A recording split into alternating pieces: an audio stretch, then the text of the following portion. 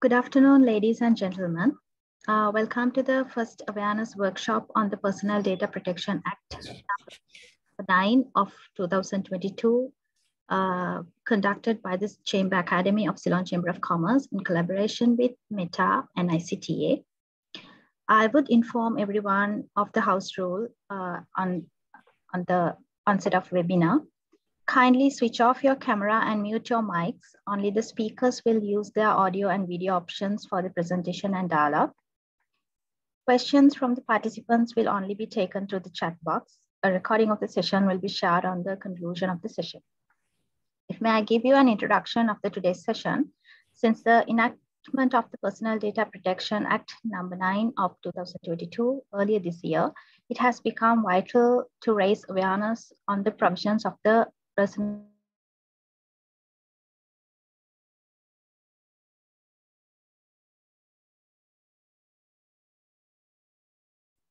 You're muted.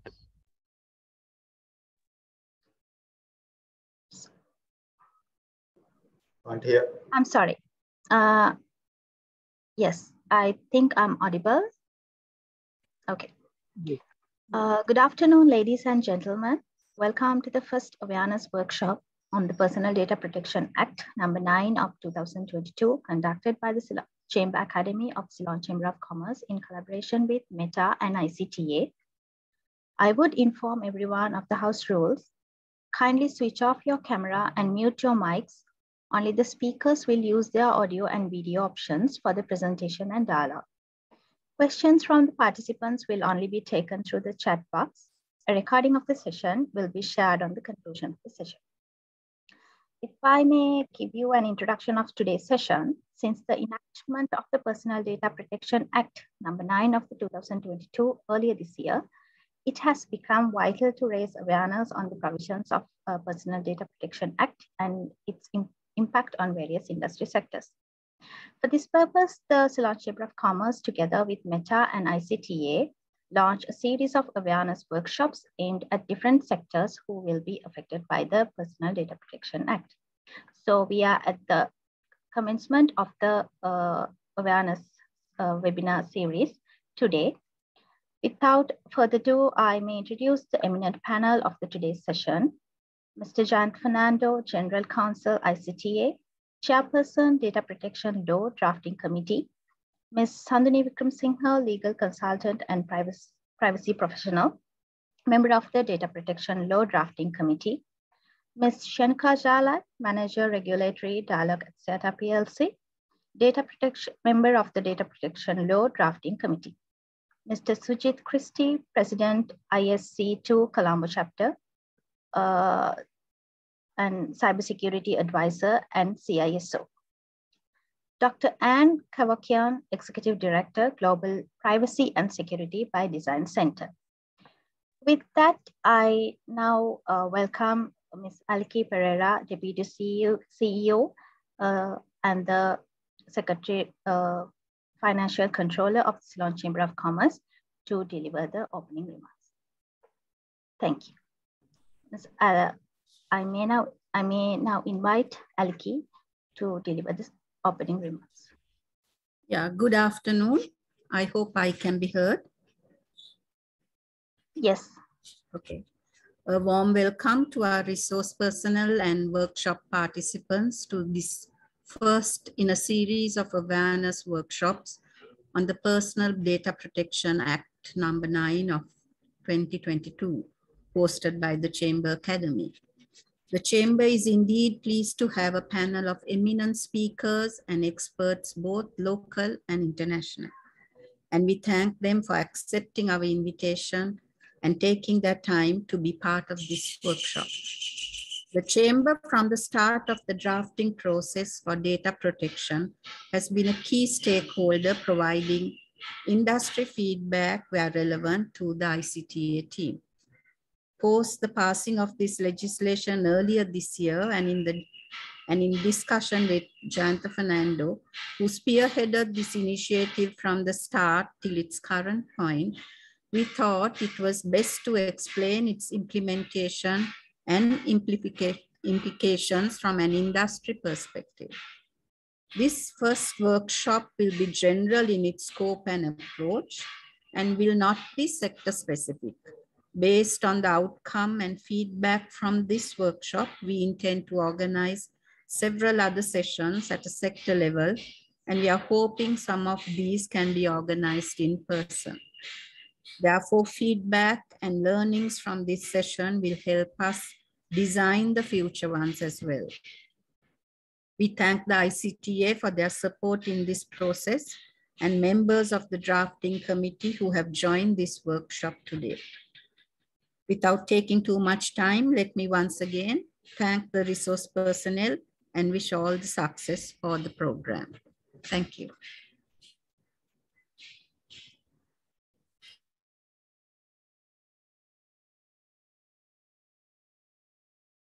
You're mute, on mute, Shehara. Thank you, Eliki. Sorry for sorry again for the disturbance. Um, now I may welcome Mr. Chant Fernando, uh, General Counsel ICTA and the Chairperson Data Protection Law Drafting Committee to do the session one, introduction to the powers and the function of the data protection. Mr. Fernando, over to you.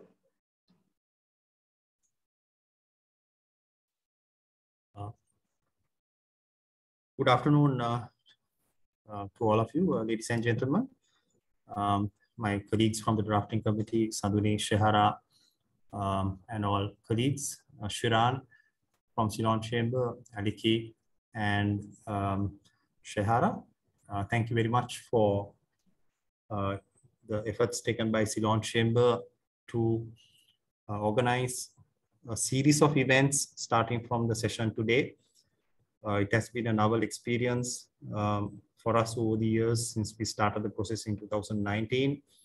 And indeed, as observed by the earlier speaker, Ceylon Chamber played a pivotal role in giving us sectoral support, uh, giving guidance in the continuous uh, public consultation process that we had uh, in relation to the, uh, the various stages of drafting uh, from the time we started the process in 2019. Um, let me upload the slide. Uh, I'm in a remote location, so uh, please bear with me if I'm not, uh, uh, uh, if, if, there are occasional breaks in my presentation. in order to save bandwidth, I'll be stopping the video and uploading my slides in a second.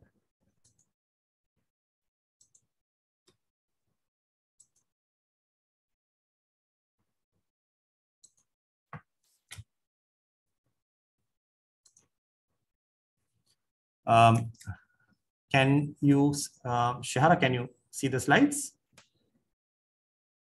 Yes, I can see the slides. Thanks. Uh, you can see them moving, right? Yeah. Okay, fine. So, um, ladies and gentlemen, uh, good afternoon to all of you uh, uh, back in Colombo.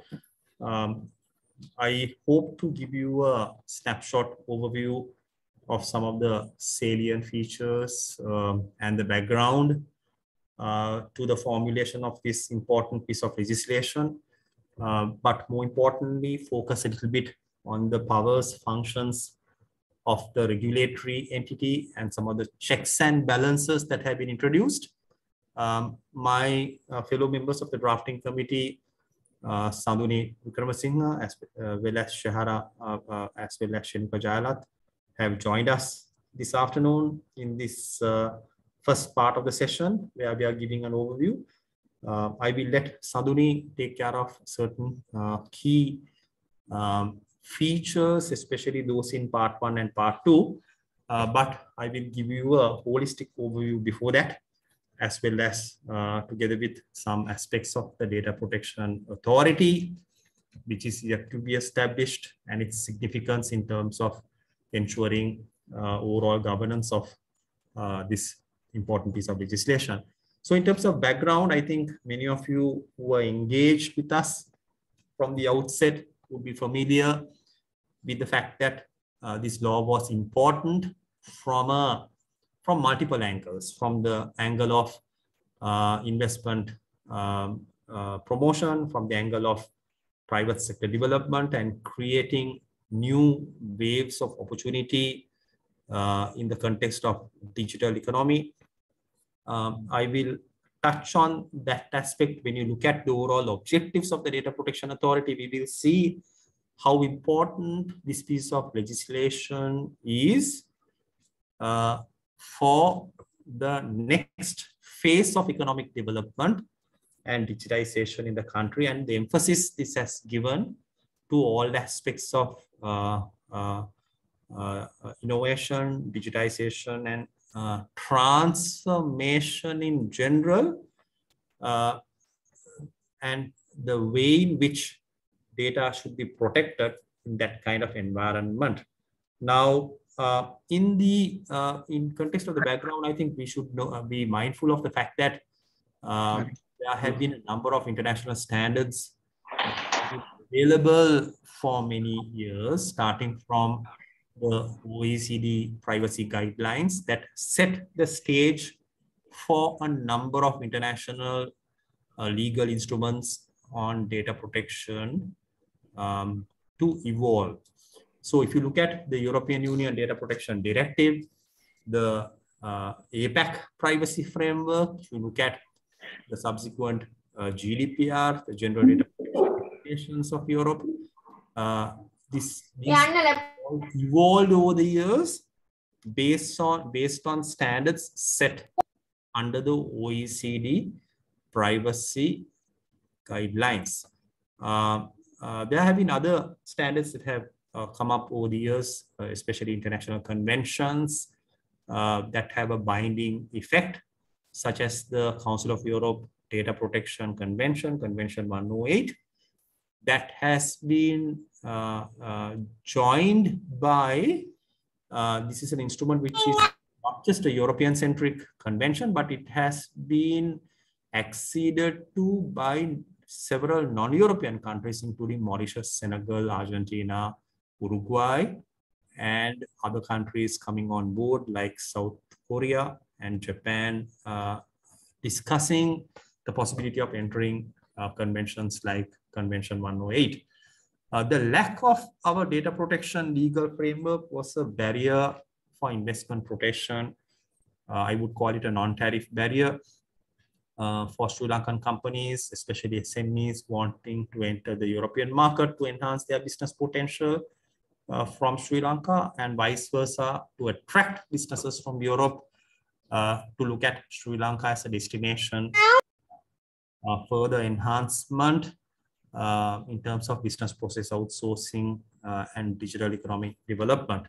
So it is in that context, this piece of legislation has been identified as an important piece of legislation from an economic development angle.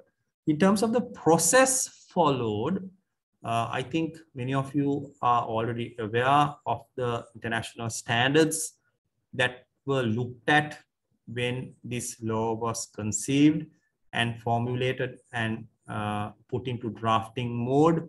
Uh, uh, we looked at a number of provisions, including the, the ones I mentioned earlier that is there in, under the second bullet item. Uh, but we also looked at existing legislation from a number of Commonwealth countries, as well as uh, those from outside the Commonwealth, uh, including the um, including countries like Korea, Japan, uh, as well as the Californian uh, privacy framework, which is built on the, uh, or maybe I would say going beyond the general data protection regulations of Europe. and then we also looked at the Indian legislation.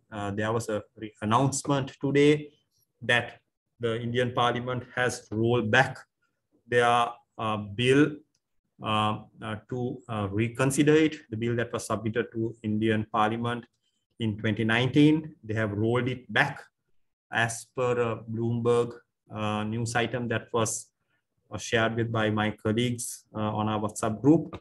more on that later, but you can see a number of pieces of legislation evolving. Uh, well, what is interesting is that Sri Lanka became perhaps the first country in South Asia to formally uh, fast track this piece of legislation and enact it um, uh, and maybe the first in this part of the world.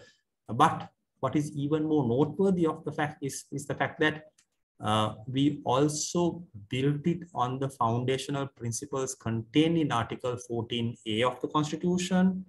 Uh, as you, some of you uh, from the legal sector may know, 14A originates uh, was a key provision that was include, brought in under the 19th Amendment to the Constitution, uh, giving a right to information. And there are safeguards built in under Article 14A uh, with regard to uh, safeguards relating to privacy that needs to be respected in the context of right to information being exercised as a fundamental right. And that safeguard uh, having to be implemented through other provisions of law.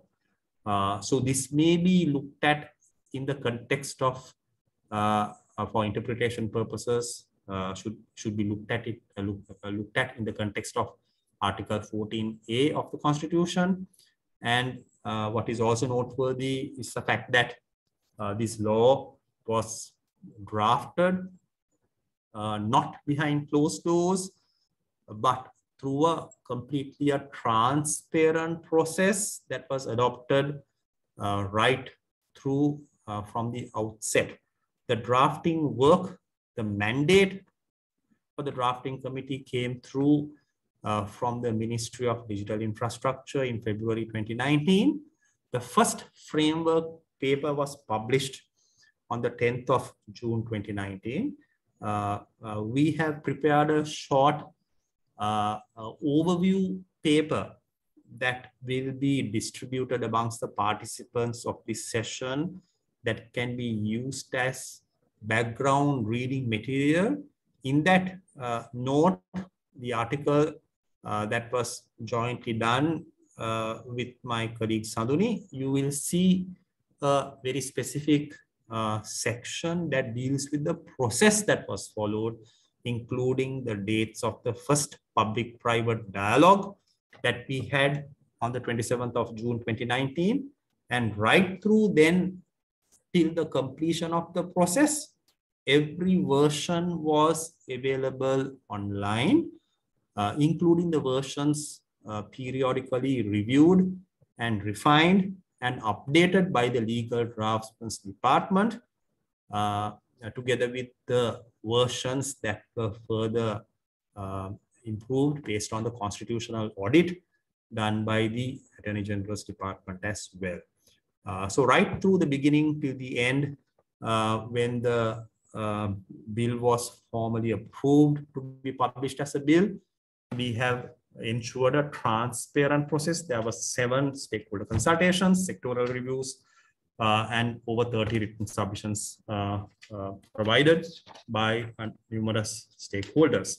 Now, what is important to keep in mind is that this bill uh, broadly takes care of three fundamental aspects. Firstly, it provides for the regulation of processing of personal data uh, secondly, it identifies and strengthens the rights of data subjects that will be dealt with in greater detail uh, by my colleague. Uh, thirdly, it provides for the establishment of the Data Protection Authority, including the powers, functions, duties of that authority uh, in the context of implementing this law. Uh, in the preamble of the statute, you will see certain aspects of uh, digital transformation uh, related language coming out. Uh, most notably in the first preamble, you see the emphasis that this law has been brought in as a necessary policy measure to facilitate growth and innovation in the digital economy in Sri Lanka. And we also highlight that this law uh, is not to be taken in isolation. This has been done uh, uh, to improve interoperability amongst personal data protection frameworks and to strengthen cross-border cooperation amongst personal data protection enforcement authorities. So the idea is, ladies and gentlemen, that this law would not be sitting in isolation. this law is a collaborative tool that would enable uh, partnerships not only domestically but internationally that would lead to the data protection authority being mandated to uh, ensure cross-border collaboration including with other data protection authority frameworks in other countries and uh, uh, ensure smooth cross-border data flow arrangements uh, for the next wave of opportunity and growth uh, for the digital economy sector. Uh, the, the law in section one spells out the period that would be available for this to be brought into effect. The law has made it clear that the date of operation of this act will not take place before 18 months from the date this law was certified by the speaker on the 19th of March this year. So which means somewhere around September next year is the earliest this law can be brought into effect. And uh, there is a window of opportunity between 18 to 36 months that can be looked at as a possible time frame for the law to be brought into effect. What is even more noteworthy is the fact that the data protection authority should be in place uh, well in advance uh, before the law is brought into operation. And that has also been spelled out in the Data Protection Act. Now, let me highlight some important definitions which are essential um, for the understanding of the uh, Data Protection Act number 99 uh, of 2022. Personal data has been defined to uh, identify um, information connecting data subjects uh, with reference to a number of identifiers such as the name, identification number, financial data, location data, including online identifiers, as well as other characteristics that can link an individual. Uh, that is the broad scope of personal data. You can see it's quite wide. We also have a definition for special categories of personal data that would encompass uh, health data, genetic data, biometric data, uh, and other special categories that will be treated uh, in, in more specific detail uh, under more stringent terms with reference to a particular schedule in the Act that my colleague will touch on later on. Uh, data subject has been defined to mean to identify uh, natural persons. Um, uh, basically, it, uh, it brings out the point that this law is all about uh, identified or identified natural persons, alive or deceased, to whom these, these personal data set characteristics would apply. Uh, basically, keep in mind the law is all about protecting rights of data subjects, which are individual rights and not the rights of companies, which are which are which have certain uh, protections and rights under the Companies Act, and maybe under the provisions of the SEC Act and listing rules. Uh, you have other laws like the Intellectual Property Act protecting intellectual property. Uh, this law is all about protecting individual rights, uh, natural persons, alive or deceased, uh, and that should relate to personal data that I explained earlier. Controller processor definition uh, is very um, uh, clearly given to mean entities, both public sector, public corporations, and non-governmental organizations, so private sector, government, non-governmental agencies, all uh, would be covered within the definition of a controller, pro provided that entity is an entity that determines the purposes and means of processing personal data. A processor means a natural legal person, including uh, organization, government, or private sector entity which processes data on behalf of the controller. So I'll give some examples But before I give those examples, we should keep in mind that we have in this act a definition for processing that broadly covers any operation performed on personal data, including but not limited to collection, storage, preservation, alteration, retrieval, disclosure, transmission, making available, etc., including erasure. So you can see the concept of processing is broadly covering a range of activities which would take care of day-to-day -day functions that are carried out by a bank, a telco, a, a hospital, or any governmental authority, including a um, educational institution. So uh, what is important is that uh, those frameworks are clearly defined. But before I come to the application of the act, uh, in terms of the controller processor relationships, you will see a number of them. Uh, in the middle column, we have given some examples. Uh, let's say an organization um, like a department. We have given an example here. Registration of persons department, the identity card office that collects all our data and processes them that is an entity that decides the purpose and means of processing our data pursuant to the Registration of Persons Act, amended from time to time, pursuant to which we, uh, uh, after the processing, we get what we call an identity, national identity card. Now, in that context, the identity card department or the registration of persons. Department is a controller. They may have hired entities to manage their databases as well as carry out their processing activities leading to the issuance of the ID card. That those entities whom the DRP has hired would become a processor.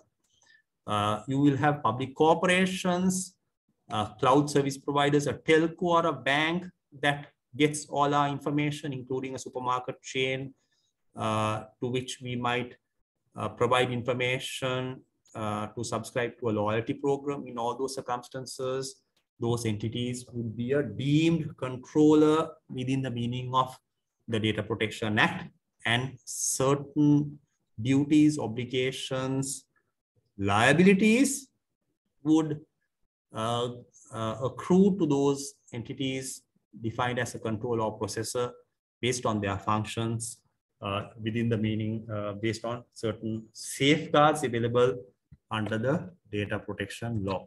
So in terms of the application of the act, it's quite broad. Uh, the law says that the act will apply to processing of personal data where the processing takes place wholly or partly in Sri Lanka. And then it goes on to explain uh, situations where processing of personal data is carried out by a controller or processor who may be either based in Sri Lanka, incorporated in Sri Lanka, or offers goods or services to data subjects in Sri Lanka, including offering of uh, including uh, offering of goods or services with specific targeting targeting of data subjects in Sri Lanka. Uh, in those circumstances, uh, even you can see uh, in this context, global service providers providing a service to citizens and other persons visiting our country would be uh, uh, deemed controllers uh, within the meaning of the Data Protection Act and would be required by law to ensure the proper safeguards and the governance requirements under the Act. And then we have other another provision that talks about specifically monitoring the behavior of data subjects in Sri Lanka, including profiling. Now, the circumstances in which a specific targeting of a data subject can happen, the circumstances in which a specific monitoring of data subjects uh, can occur, will be defined by rules published by the Data Protection Authority. So you can see the importance of the Data Protection Authority from that uh, point of view uh, in time to come.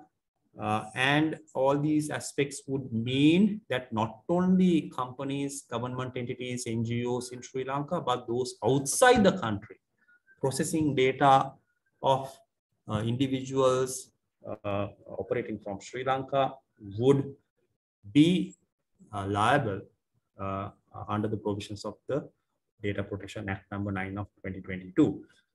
The law has spelled out scenarios where the act would not apply.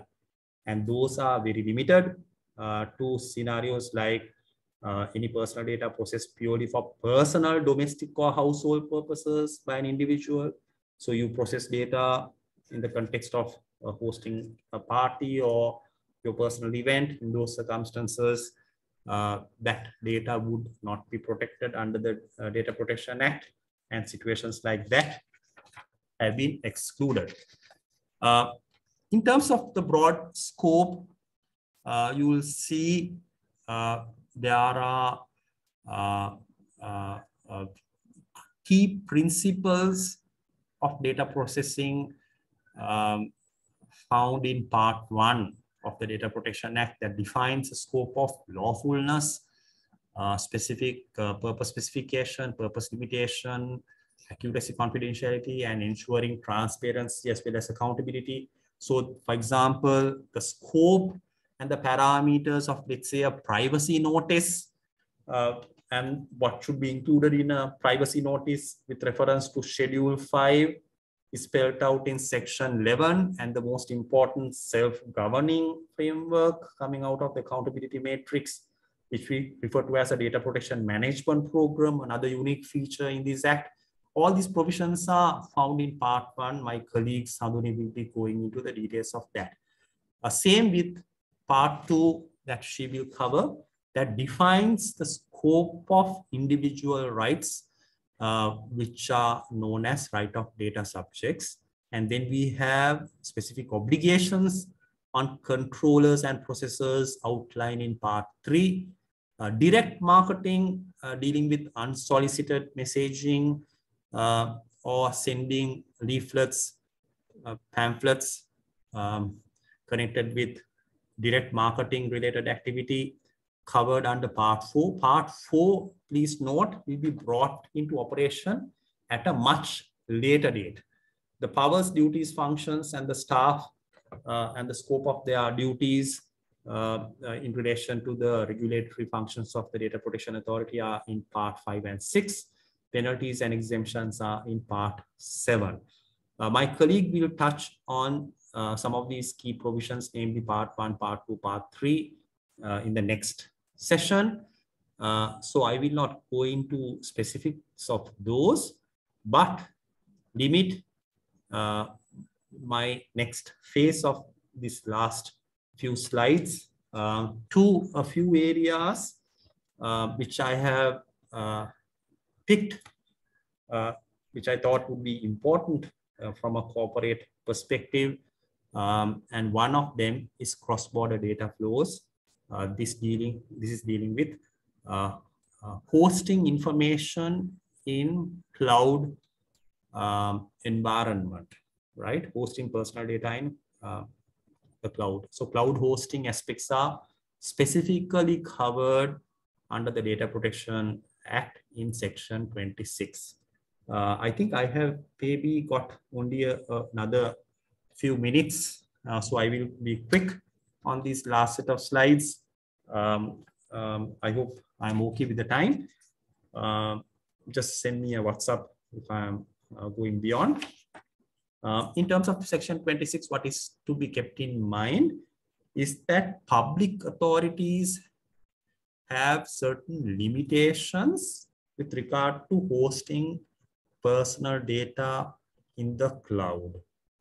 However, unlike some of the other laws, the scope of public authorities have been narrowed down to ministries, departments, and statutory bodies performing uh, statutory functions pursuant to a law enacted by Parliament.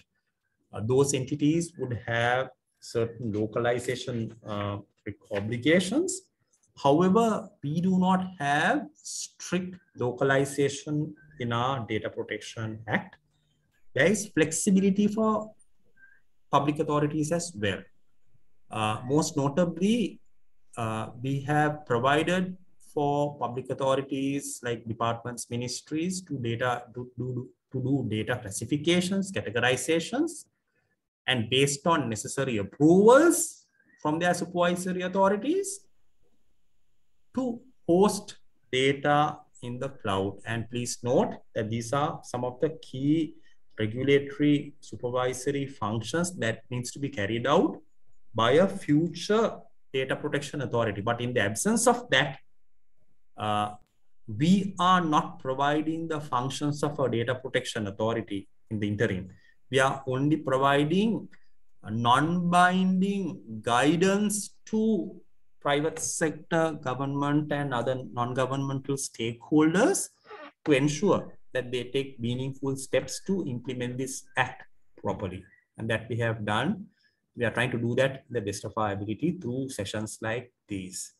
Uh, however, when it comes to organizations which are not public authorities, which are in the private sector, including government banks and government-owned companies, there is greater degree of flexibility for them to host information using cloud services with reference to specific provisions in section 26 and uh, flexibility provided under section 26.5 that was brought in through a committee stage amendment due to several concerns raised by private sector uh, about the limits imposed in the earlier versions of the bill uh, in relation to cloud hosting of data. So you can see the flexibility in uh, 26.5 ensures that it can be done uh, if the transfer is necessary for performance of a contract um, and with explicit consent of a data subject and um, uh, by necessity in the public interest, broad opportunities and options are available for the private sector to host personal data in cloud environments.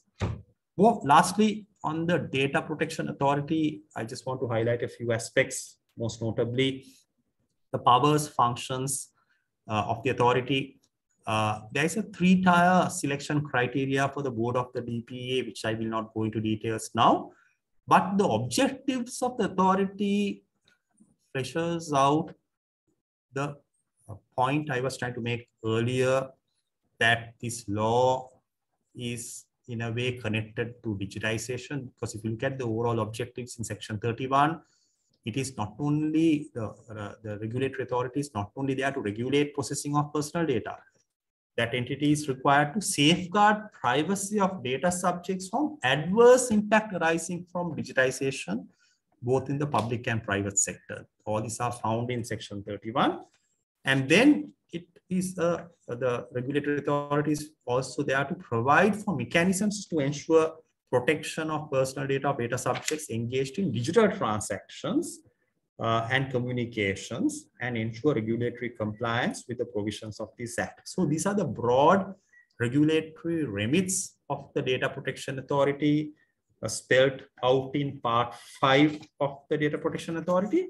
But uh, I just want to highlight that uh, if you look at section 32 and 33, you will see that it has broad powers uh, to give directions uh, for compliance to controllers and processors, uh, carry out investigations, receive complaints, require persons to appear and uh, give testimony under oath, uh, visit organizations, uh, and go to their premises and take records to carry out investigations, as well as to do awareness sessions, engage with uh, uh, international regulatory agencies on data protection to ensure that our law is harmonized with the rest of the world, uh, recognize certific certification and certifying bodies that will conduct awareness programs and so on and so forth. So large it's a large remit that has been given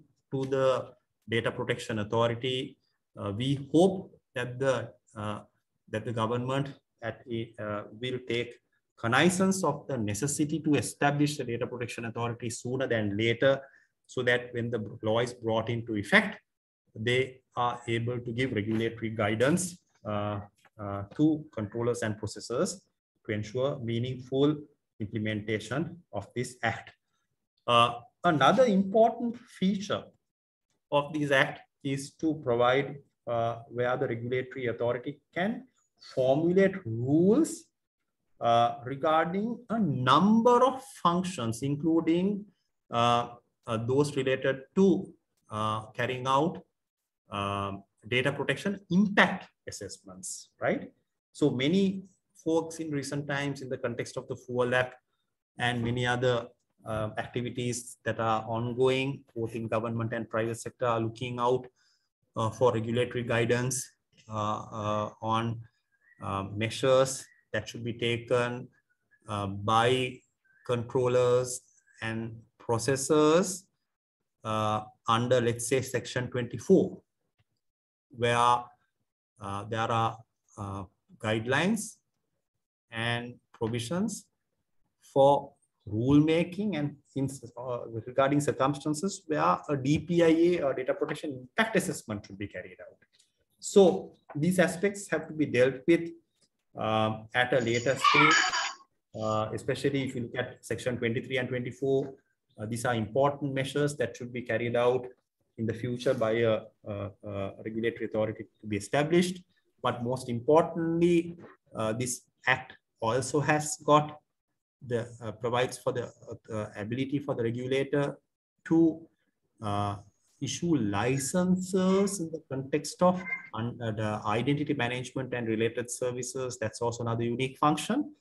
But the most important uh, feature of this act is also the fact that the director general and the staff uh, are required to be selected on a transparent competitive selection criteria based on rules that will be published by the authority as well as uh, certain um, other criteria uh, that have been uh, established in part six. So for example, the staff uh, have to go through periodic training and there is provision uh, for the scope of a range of activities that the authority um, should cover broadly. If you look at section 37 subsection 2, you can see that the regulator is required to promote and sponsor training of technical person on the subjects of information security, data science, data analytics, information technology, finance, law, and a series of other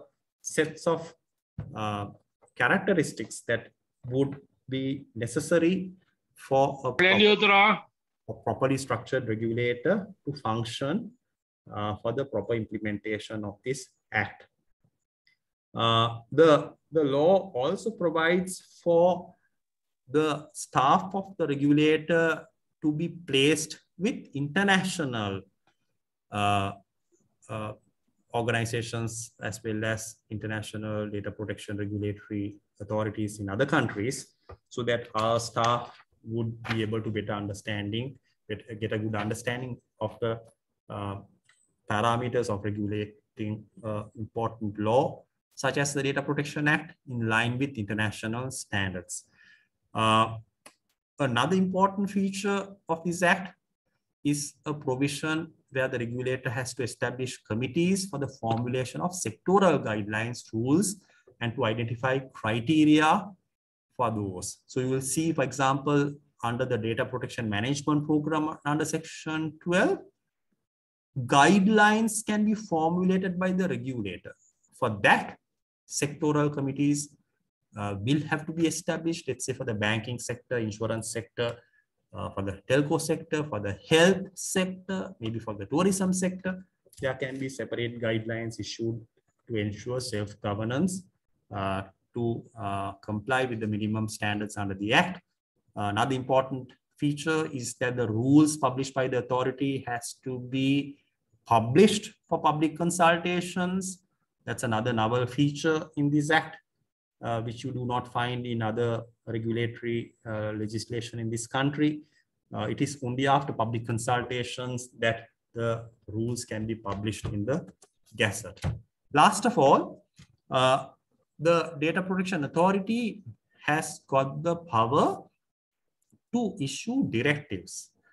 Now, remember, uh, many I have seen many people highlighting the fact that this law brings in penalties, which is a maximum of 10 million rupees, no doubt, but that does not mean the regulator will go on a voyage of uh, introducing, know, imposing penalties of 10 million all the time. It can be 1000 rupees, 10,000, depending on the uh, grievance and the violation and the steps taken by the controller or processor to re remedy them.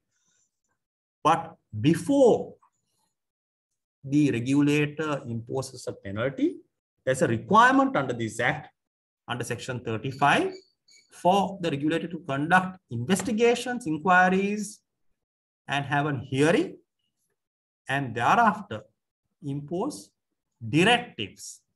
Directives are measures which are administrative, light touch, I would call it a soft law measure, through which the regulator can give regulatory guidance to an entity to do, to do course corrections, to comply with the law.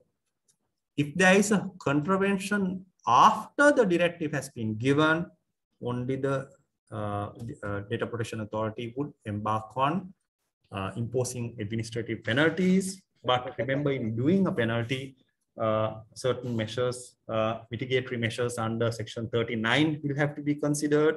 The nature of the grievance, the steps taken by the controller or processor to uh, remedy the contravention, the effectiveness of the data protection management program under section 12 uh, and other aggravating or mitigating factors that has to be looked at and so on and so forth. Last of all, this law contains certain important features and the most important safeguard in this act is found in section 40 uh, it's a legal subject. I will not go into this in detail, but there's not enough time. I am already overstepped by about a few minutes.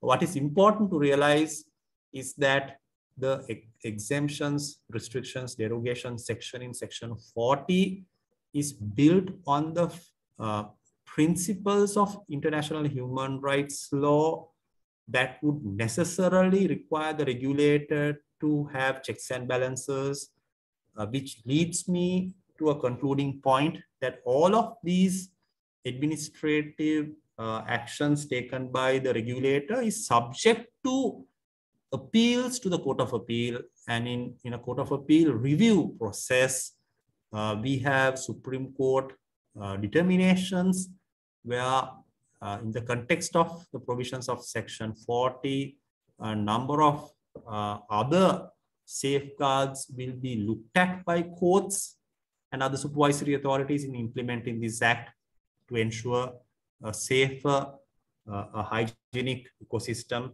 under which uh, we can implement this uh, data protection act. So with that note, um, I will conclude my um, uh, uh, my presentation for now. Uh, I, am sorry, I overstepped by about four, five minutes. sorry about that. Um, and I hand it over to our colleagues at Ceylon Chamber. Thank you.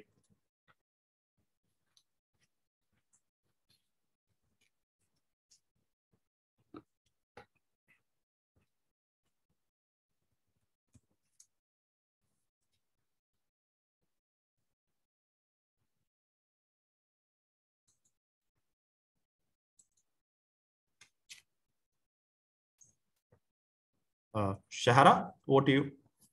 Uh, thank you, Jayantha. Uh, for the next uh, session, thank you for uh, doing the great uh, introduction on the powers and function of the data protection. For the second session, I may invite Ms. Sanduni Wickramasinghe, legal consultant and privacy professional, member of Data Protection Law Drafting Committee, to do the session on uh, obligations of controllers and processors and rights of data subjects. Uh, Sanduni, over to you. Uh, thanks, Shehara. Uh, good evening, everyone. So hope you can see my screen. Yes, we can.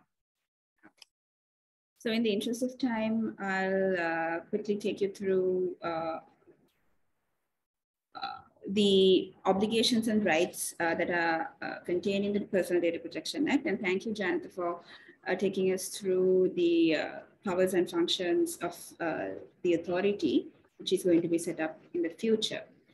So when you look at the obligations of controllers and processors, uh, so generally the act spells out um, obligations specific to the controller as well as obligations specific to the processor.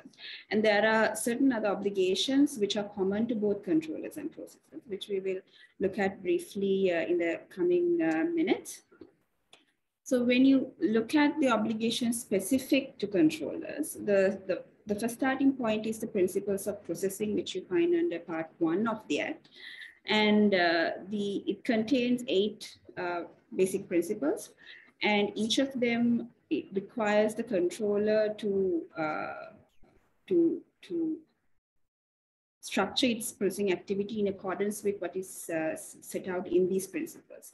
So when you look at the lawful principles, which you find in section five, section five, which is the first principle, um, it gives out the lawful basis on which you can process personal data as well as special categories of personal data, as Jan uh, draw the distinction a little while ago. So if you are a controller who process personal data that does not amount to special categories, of course, then you will find uh, the grounds in Schedule 1.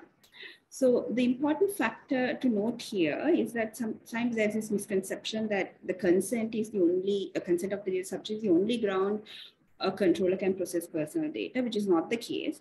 And the Act is very clear on that, and it gives several grounds or several lawful bases uh, wherein uh, a controller can base their processing activities. So it could be uh, a consent, and if not, it could be uh, you're performing a contract with the data subject concerned, or you need that data to perform a legal obligation, which you as a controller is subject. So similar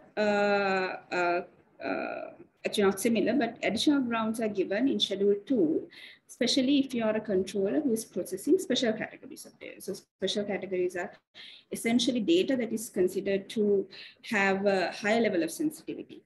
And uh, you would see when you compare the two that Schedule 2 contains a bit of a more strict or stringent uh, um, requirements. So whilst there is consent, uh, again, there are additional uh, conditions on that.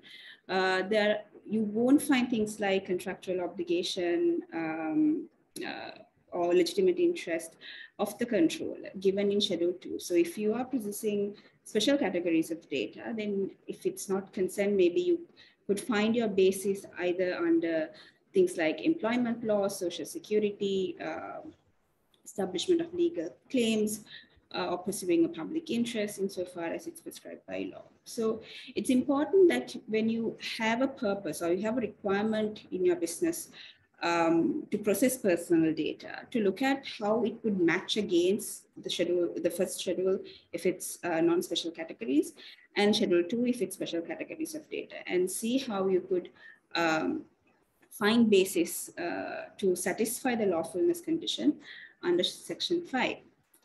And when you talk a little bit more about consent, the Schedule 3 of the Act provides certain conditions which a control needs to satisfy in order to establish that it has ob uh, obtained consent within the framework or within the uh, uh, within the framework of the Act. So consent is defined to mean something that is freely given, specific and informed. And it's important that a controller demonstrates in a way that the data subject has given consent. So this is where you can't really rely on tacit consent where you I mean, you would have often seen there's a general practice you include all the um, terms relating to personal data processing in the general terms and conditions. And you kind, I mean, sometimes the customer doesn't see it, sometimes it does, but then there is no separate consent and you just put a line at the end saying, you know, by uh, signing here, you agree to the terms and conditions um, when it comes to processing your personal data. But this uh, such practices may have to be revisited once that comes into play because the controller must demonstrate that there was uh, uh, there was affirmative action or, uh, given by the uh, data subject that he has specifically given an informed consent. And if you're going to combine the conditions for consent with other matters in a declaration. So it, it's important that you clearly distinguish these elements of consent and it must be in a way that is easily accessible or intelligible um, and in a plain and clear language, uh, which can be understood by the data subject so that you can establish this consent was informed and the, the data subject understood uh, the purposes and risks involved in processing activities. And moving on to the other uh, principles, the second one is about purpose specification. So this is where it requires a controller to uh, process personal data for a specified, explicit, and legitimate purpose.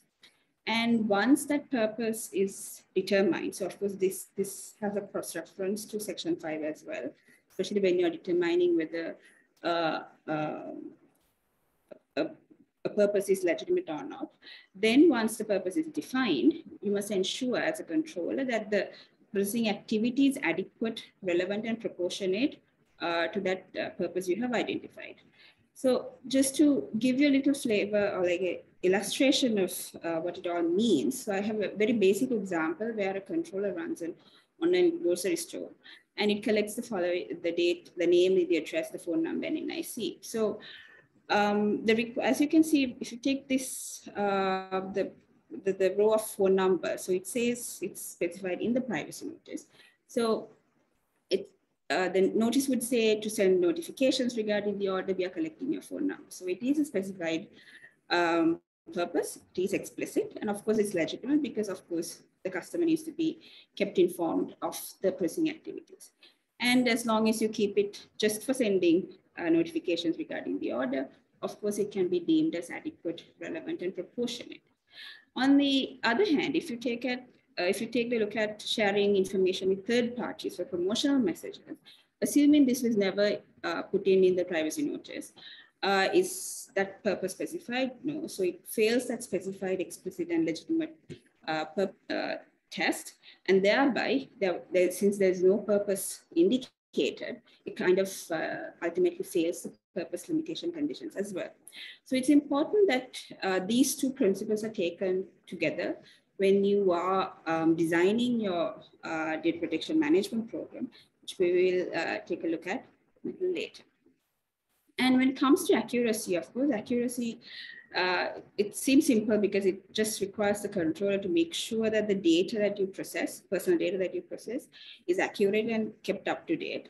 And this also kind of ties up to the rights of data subjects uh, who has a right to rectification, uh, which is guaranteed in the Act. So by your own volition or if, if, if a data subject uh, make a request that certain data should be updated or rectified, then uh, of course uh, you need to comply with that. And making sure that when you enter data into your databases, there's always, uh, that there's, there's only a very little room or no room at all for errors to, data entry errors to occur. And when it comes to storage limitations, so storage limitation is where one of those very contentious um, uh, discussions take place because it's about how long you need to keep data uh, under the act. So it's about uh, the what the act requires from controller is to that you need to keep it insofar as it is necessary to perform the purpose you have identified. And if you're going to keep it for any longer period, of course, there are exceptions such as uh, archiving the public interest or scientific research and so on.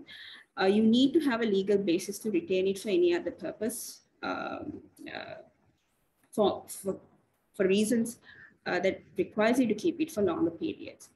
And confidentiality principle, uh, which we find in section 10, is speaks about ensuring integrity and confidentiality of the personal data.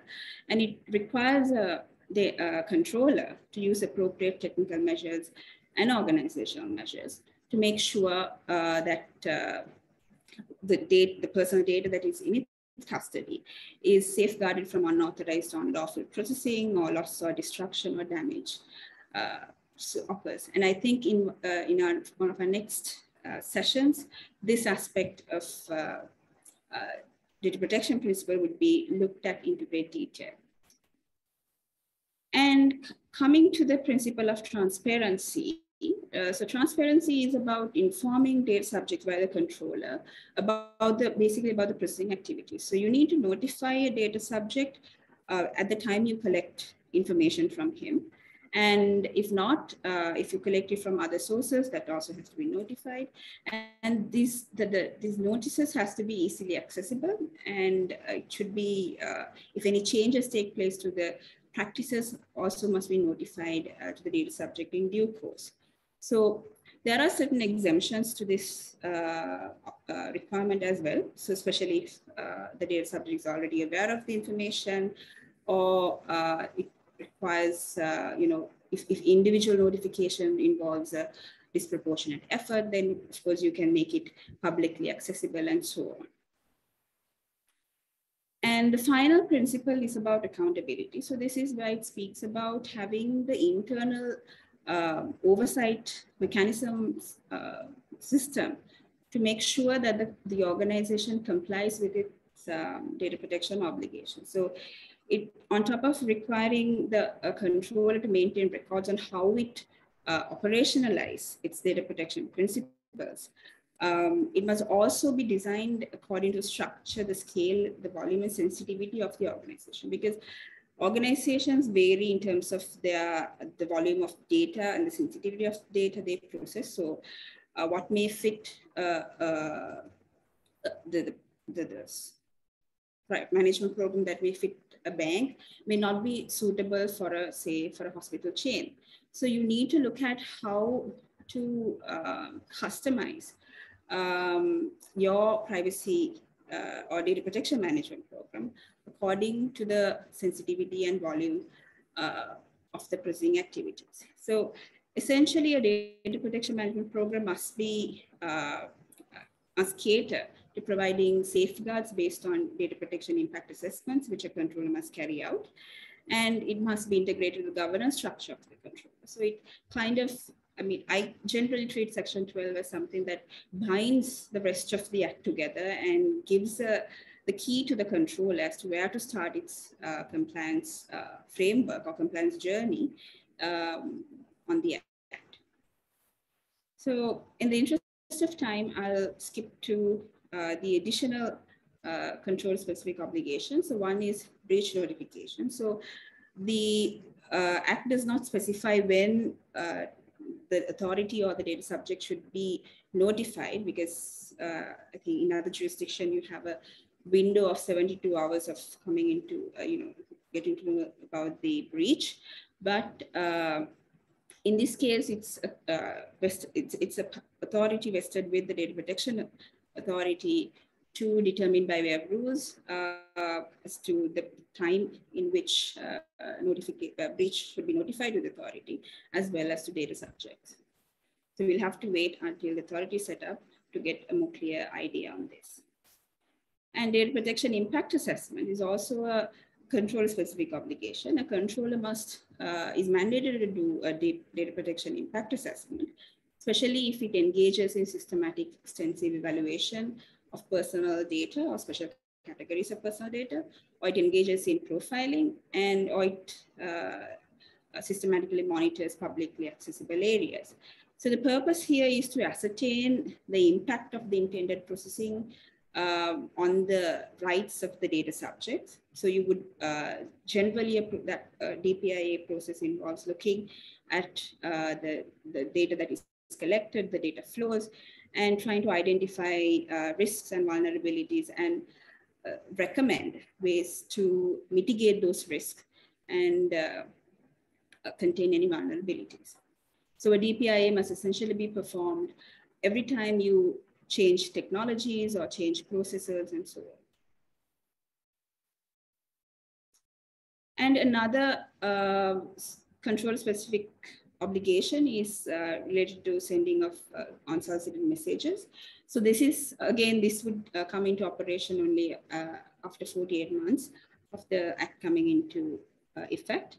Um, so of course, there'll be enough grace period for controllers to get their affairs in order when it comes to unsolicited messages. So basically what it requires is uh, controllers can no longer send unsolicited messages. You must always obtain consent uh, before you transmit any uh, electronic or otherwise message. This includes postal communication as well. And one of the most important conditions a controller must consider, uh, especially uh, when appointing processors, because in, in, in uh, current context, a controller cannot undertake to perform all the processing activities by itself. So it's natural to outsource certain activities to third parties. So in, in, in such a context, controller must ensure that it uses processors who can ensure appropriate technical and organizational measures uh, who can give effect to the act. Because end of the day you are also you're, you're answerable to the authority or your data subjects about the acts of your choice of the processor. So it's important that you perform necessary due diligence of processors before you uh, take them on board and you must also use processors who ensure the protection of the rights of data subjects under this act so again uh, certain level of due diligence is required on the part of the controller and make sure that the uh, processors are bound by contracts or the written laws, which sets out the subject matter, the duration, the nature and purposes of processing. So looking at the obligation, before moving to rights, I think I'll just take a brief look at obligations specific to processors because uh, processors by law, I mean, this is one of the areas that um, face a lot of changes during the committee stage amendment phase. And you would see that a lot of uh, certain level of flexibility has been afforded to processors uh, with the amendments. So a processor is obligated to comply with the written instructions of the controller. So it could be in the form of a contract uh, or any other written instructions. So the moment a processor would deviate from these instructions would, uh, would make such processor deemed controller within the uh, provisions of this act. And a processor must also ensure that its personnel are bound by um, contracts, uh, contractual obligations for confidentiality and secrecy obligations. And it must also facilitate the control to conduct compliance audits and inspections upon its request. And of course, er uh, erase or return the data uh, once the services have ended. And if the, a processor is engaging any sub-processors, of course, the, the, the main processor remains answerable uh, or liable to the activities of the sub-processor to the control. So a lot to be considered if you are um, acting in the capacity of a processor within the meaning of the act. So when it comes to obligations common to controllers and processors, I think Jayantha covered about cross-border obligations, uh, the directives and penalties issued by the authority. So in addition to that, uh, there's this requirement to appoint what we call a data protection officer. And there are certain uh, situations where there needs to, uh, a DPO must be mandatorily appointed, especially if you're a public authority, uh, a government ministry or department, or if you're a controller who is process or uh, process personal data in a manner that systematically monitors data subjects uh, according to a prescribed scale and magnitude. So we'll have to wait and see until the authority is set up and rules are um, prescribed accordingly to uh, really get a clear idea about uh, which uh, the, the categories of uh, uh, controllers would fall or processes would fall within that definition.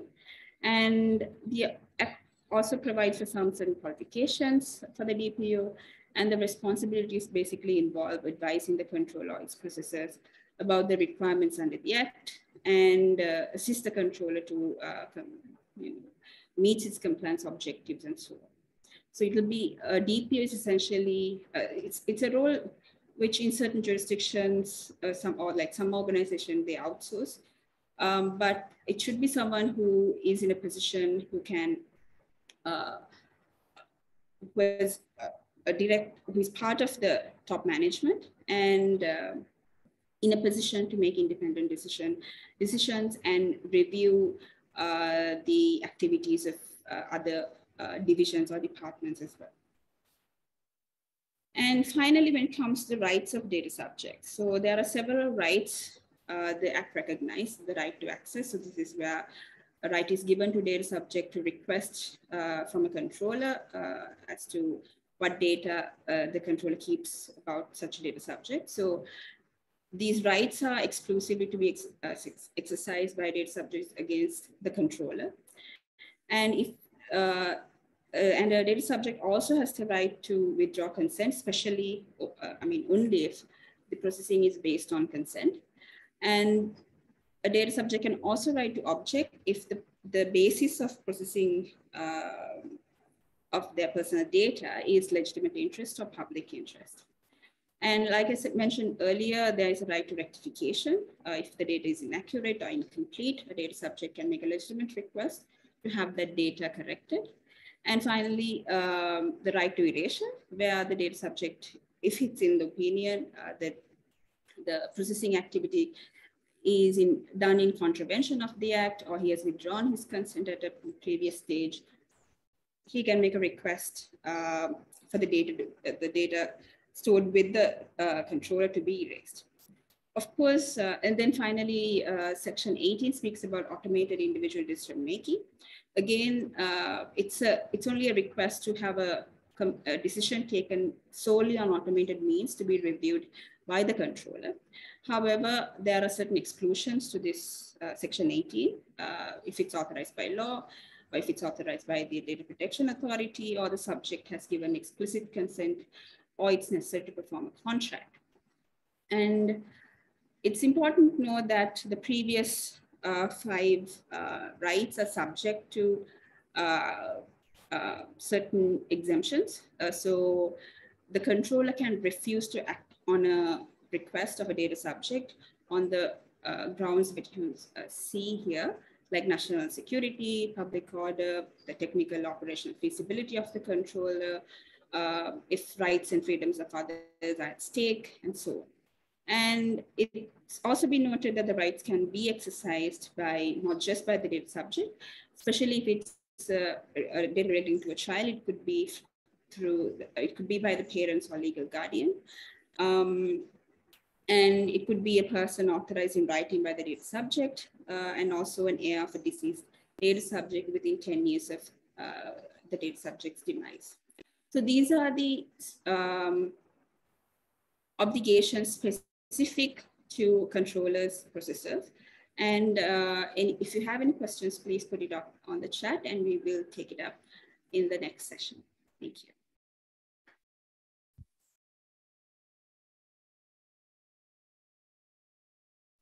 Over to you, Shehara. Thank you, uh, for the informative uh, presentation. And with that, uh, we'll be moving to the next uh, third session of today's workshop. Um, I again, I wanted to. Uh, this is the Q the Q and A session for the uh, the presentations we can we have completed so far. So I would like to invite Mr. Jan Fernando and uh, Ms. Shenuka Jala uh, manager, regulatory Dialog Axiata PLC, and the member of data protection law drafting committee. And session will be moderated by Ms. Sanduni Wickramasinghe. Uh, Sanduni, I uh, well, I invite you to take over the session with the uh, two panel members. Um, thanks, Shehara. Um, yeah, I think there were a couple of questions um, on the chat as well. And uh, is Shenuka? I don't see.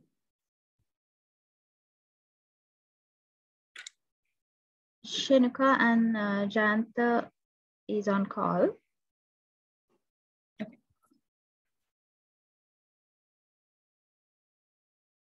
Right. Um, so I uh, would like to ask Shenuka this question because you, you, since she's part of the organ of an organization which is uh, along its uh, compliance journey, um, because uh, and we couldn't really cover it entirely in, in my description of the accountability principle. So, uh, Shenuka, in your experience, like what are the major changes um, faced by a controller when setting up uh, the data protection management program under Section 12? And what would be your advice to overcome them? I think that would be something um, our audience would be like, we'd like to hear from you. Uh, so thanks, Sanduni. Thanks for that question. I think uh, at this point, it's an excellent question to ask. What are the major challenges you'd face when setting up your data protection management program? Because currently, uh, most organizations would be wondering what on earth this data protection management program that Section 12 envisages is. So I think one of the key challenges that you have would be to know, okay, do I need, how do I go about setting in place this program? And in the course of doing that, you would uh, you'd be in a position, you'd have a challenge basically identifying your maturity level in terms of privacy, whether your organization has zero processors or whether you have some processors in place, but they are not documented or whether you have access control. So all this uh, would be important to assess your maturity level in terms of privacy. So I think one of the key challenges an organization may face is I just figuring out where are we at this point in terms of privacy, what where do we stand? So one way you could overcome that is by assessing how assessing your data life cycle. So basically you you'll have this sheer volume, the sheer volume of data, not knowing where data is, the channels through which you collect data, the data flows, who has access. So if you do a full assessment of your data from its from the time it enters your organization to the time you purge it and everything in between, you will be able to assess where you are at this very point. Um, another challenge they face at this point, I think, is the absence of the requisite knowledge and skill. Uh, your your the, the internal team plays a key role in this. Privacy is a team sport. So it's not something uh, a legal department or a compliance department can do in isolation. It needs the buy-in of your IT, IT, your other compliance teams, your security teams, so your business teams. So the it's an organization-wide journey, as it were. So you really need to uh, you need to get in the right team and you need to get in the right knowledge. So either you need to upskill the existing staff, you need to train them, or you need to uh, hire externally. But during this, the current economic crisis, I mean, hiring externally might be a challenge for most organizations. So maybe you could think of getting help from external consultants who can guide you through what you need to do because um, it's important that you get it right. Uh, the, the act is not yet operational, but once the Data Protection Authority comes into place and it becomes operational, the possibility of a fine is very real. So, so you need to have, uh, and you need to go on this journey where you set in place your program and you, you your journey to compliance. So getting the right team in place, the skill is it's essential because if you if you went through the previous two presentations, you'd see uh, the act is rather technical. So it's it's it's not rocket science, but you need to have someone who can help you along with it. Um, the other uh, challenge I think would be if you are a company which outsources your data processing activities to third parties. So they would become your processors. So alongside uh, ensuring compliance on your part, you would also need to ensure that your data processors also maintain the required standards. So your vendor agreements, your you need to you need to relook at those things. You need to include data protection clauses if there is processing of personal data. You need to train your external vendors and maybe even you need to audit them occasionally just to make sure that they are uh, in line with your standards. Uh, another key challenge would be the CEO buy-in from most organizations because um, data protection in Sri Lanka is relatively a new concept uh, we've had it imposed by statute license to a very slight degree. It's not a new, it's not a brand new concept, but uh, the extent which the act proposes is brand new to us. So most CEOs might not even, and senior management might not really see the value of it. They'll be like, so, so what, what, what do we do? I mean, it's, it's, a, it's an act that has come in, okay. They might not see the massive amount of work that you need to do to ensure compliance. So a CEO buy-in, I think, is, is crucial to for, for the success of any data protection management program. Um, additionally, I'd say information security practices, uh, it's impossible for privacy to function without adequate security measures. So your security practices, if you need to update, you need to look relook at them to make sure that your personal data that you process is secure. that's that's a key challenge which might entail you having to do a full study on that. Um, additionally, you need to uh, address breach management. If there is a data breach, what do you do? You have to have plans in place. Uh, and it's not just a plan that you write on a piece of paper and you just forget about it. It's, it's a plan that's a live plan that you need to keep testing. You need to do simulation exercises. So your staff is aware that if a breach occurs, this is what I need to do. Um, another key thing would be to ensure that the products and services that you uh, basically that you're you're developing at this very moment in, in the next couple of months, there is a chance that those would also come under the scrutiny of a data protection authority. So if you incorporate uh, concepts of privacy and security into your products and services right now, you will be compliant when the act comes into uh, into play. So privacy by design, that's, I think we're looking at this in depth later today but it essentially means that you integrate privacy and security considerations into your product designs, into the architecture of your products. So that's that's another key thing I think um, you could do to which would enable you to face the challenges, and it would also strengthen your data protection management program later on uh, when an authority comes into play. Thanks, Shenuka. That was very um, it's a very comprehensive answer. I think um, it's important that the audience also take cognizance of the fact that it's not an easy um, journey to uh, begin with. So it's important that they start this uh, process early. And I have a question I think I'd like to direct it to Jayantha about, I think uh, uh it's about whether there are any uh, penal provisions for non-compliance or failure to comply under this act. Um, I think, uh, Sabine, as uh, I may have explained that in my presentation, in a bit of a rush at the very tail end. Um, in terms of uh, penal sanctions, I think it is very clear that unlike uh, regulatory frameworks enacted by many Asian countries that have strived to uh, bring in criminal penalties, uh, the Data Protection Act number 9 of 2022 uh, brings in both a soft, uh, soft law measure uh, introduced through Section 35, which we call directives, which are administrative in nature, done consequent to a formal inquiry investigation uh, carried out uh, with regard to maybe a potential non-compliance by a control or processor.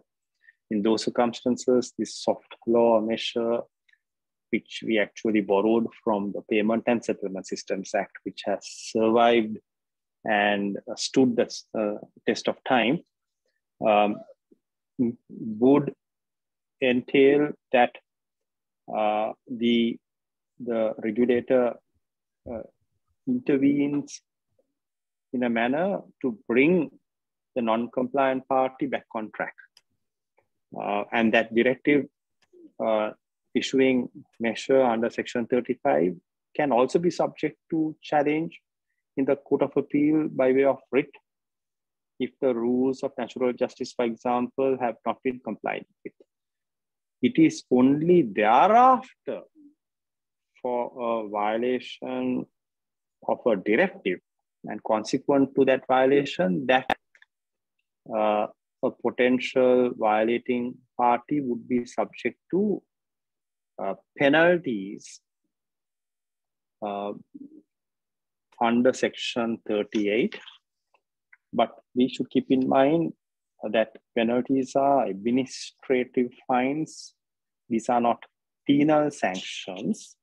Although in the event of a non-payment of a penalty, the recovery of the penalty has to uh, go through what we call uh, a recovery procedure under the um, uh, under section 37 uh, through the magistrates court but we have to keep in mind uh, that uh, under section 38 of the, uh, of, of, the Data Protection Act, there is a provision to recover the penalty through the magistrate's court. But we should keep in mind that in introducing a penalty, the regulatory authority has to keep in mind a series of factors, including mitigating circumstances under section 39 including but not limited to steps such as the effectiveness of a data protection management program. So I think uh, I need to emphasize or maybe overemphasize the points you all made, uh, both you, Sanduni and Shenuka, about the need to have a self-governance, uh, self-regulatory measure in-house through your data protection management program, effectiveness of that will be measured from time to time by the regulator once the data protection authority is established. But the regulator has to look at um, aggravating and mitigating circumstances, as including the effectiveness of, the, of a data protection management program, uh, and the nature, gravity, and the duration of the contravention, as well as the action taken by the controller processor to mitigate the damage suffered by a data subject who is impacted by the violation, the degree of cooperation the controller processor had with the regulator, including uh, notifying the regulator about the contravention before the data subject goes and complains. So those aspects under section 39 are very unique in the sense that uh, those have to be uh, taken into account before a penalty under section 38 uh, is imposed, keeping note of also the fact that the penalty can only kick in uh, consequent to steps taken beforehand under section 35, namely a directive through which the course corrections, guidance can be given to a violating party. And these soft law measures accompanied by the penalties would make our law different to others which have criminal sanctions. Thank you. Um, uh, as an extension to that, there was a question raised about, uh, like, in comparison to the GDPR, which provides uh, in Article 82.3 that um, controllers or processors can be exempted from liability if it proves that it is in no way responsible uh, for the event uh, giving rise to a damage. And there is no or like identical provision in the Data Protection Act. So in such context, how would you uh, respond to that question about uh, what is the what the liability of a controller would be in the context of a data breach? Um, because uh, you know there is no uh, no identical um, provision in the PDPA.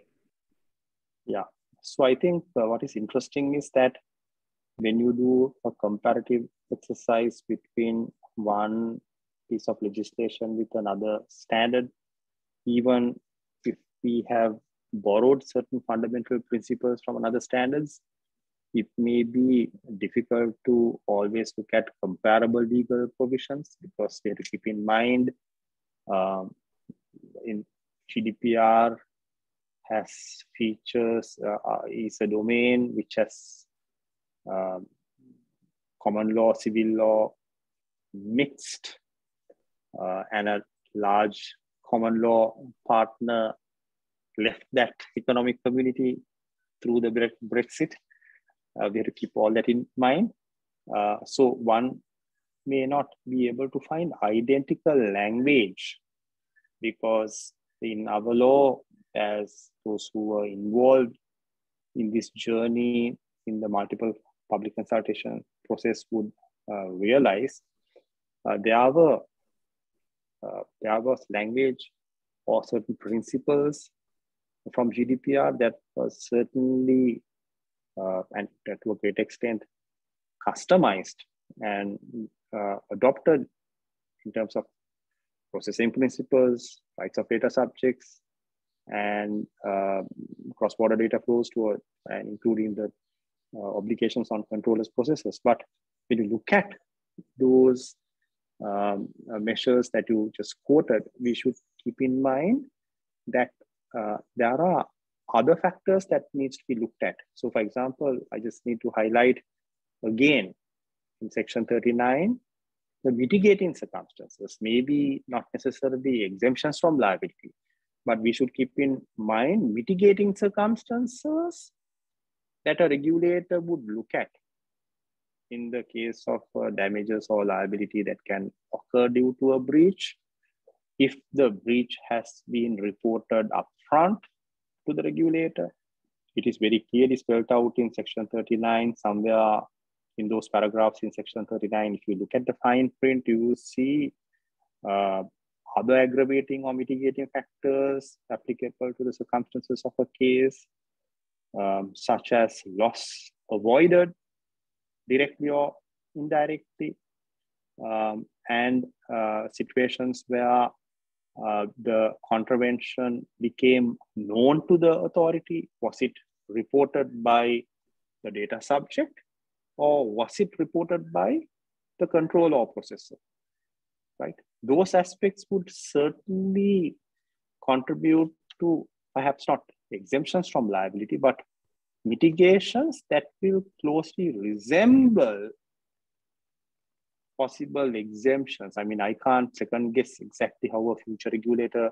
would interpret Section 39, but I would think a sensible regulator would, look at those mitigation circumstances to perhaps exempt a genuine uh, a bona fide controller processor who has taken all necessary steps, including the effective data protection management program, action to uh, mitigate the damage uh, under section 39 and cooperated with the regulator and reported the damage or the loss beforehand, before the data subject.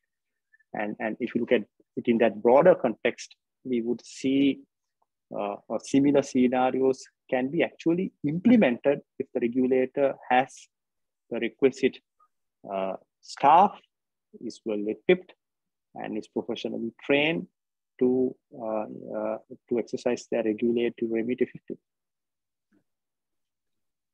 Thanks, Jan. Um, I, I don't. We have time for a couple more questions. Um, I like to direct this to Shenuka uh, to implement uh, this, suppose, to implement the act. How does data classification uh, would be helpful as a first step?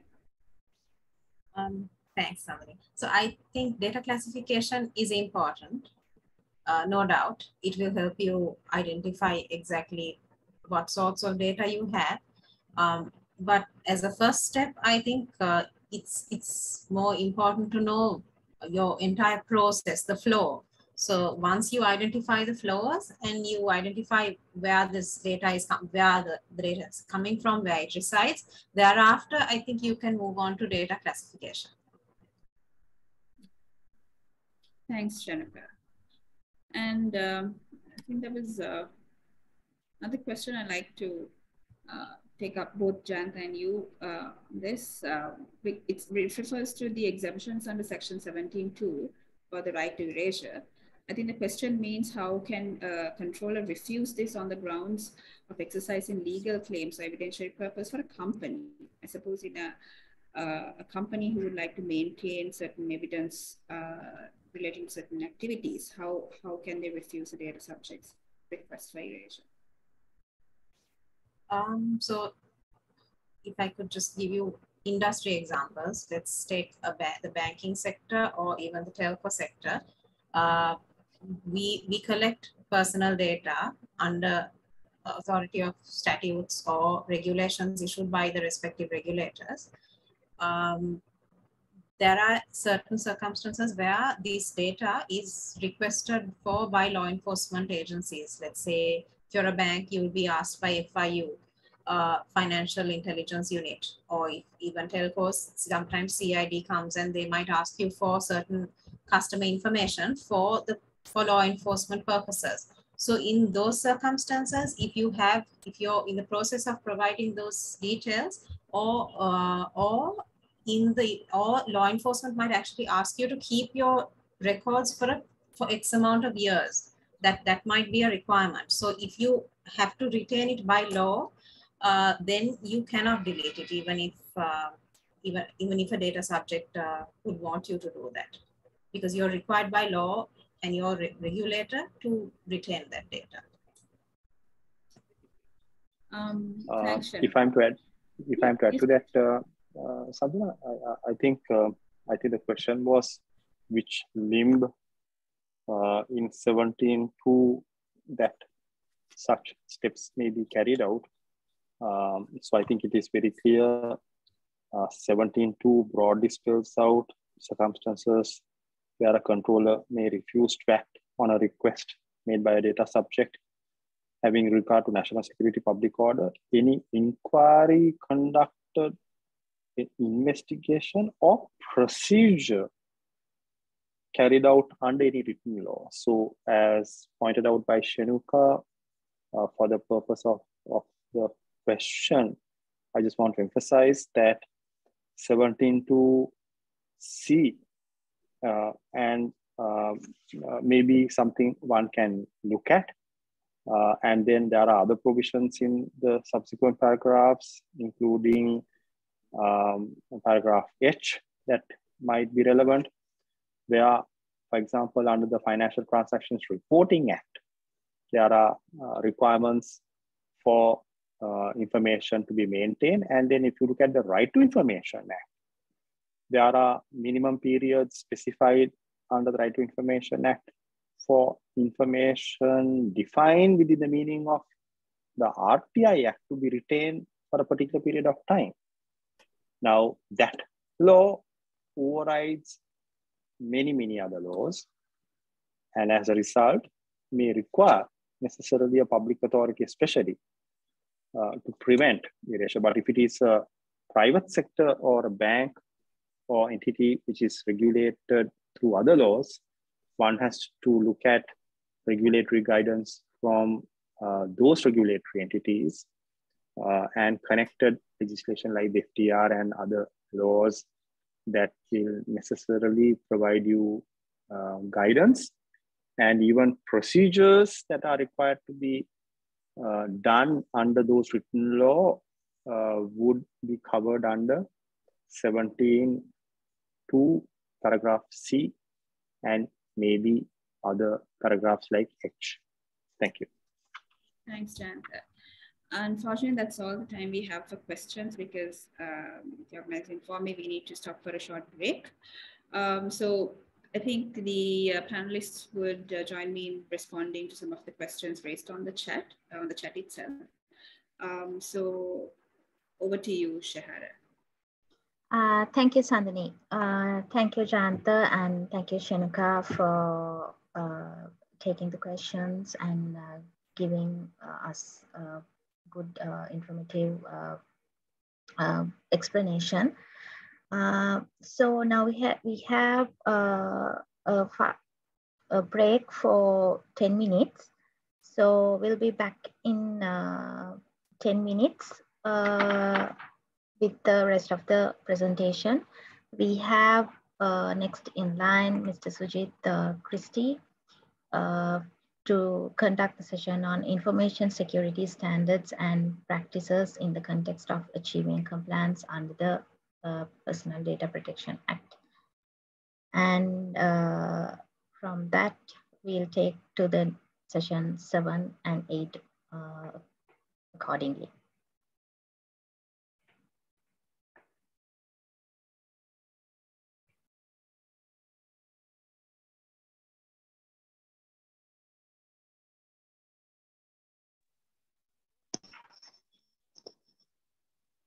අර app එක account එක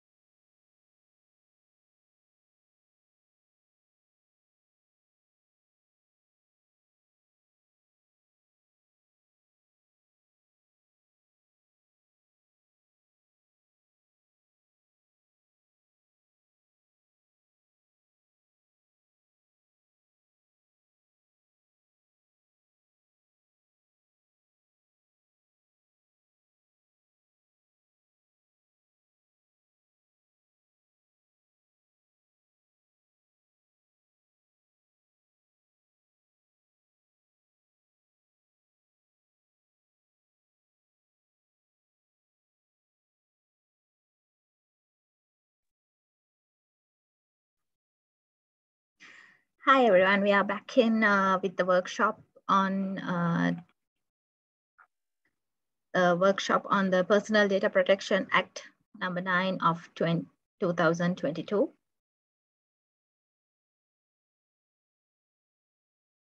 With the, the after the break, we have uh, the next session on information security standards and practices in the context of achieving compliance under the uh, Personal Data Protection Act. And session deliver uh, the, the we would like to invite the speaker for to deliver the session, Mr. Sujit Christy, President ISC uh, Colombo chapter. Director of Layers 7 Seguro Consultoria Private Limited, Cybersecurity Advisor and CISO. Uh, hi, Sujit, over to you, the session.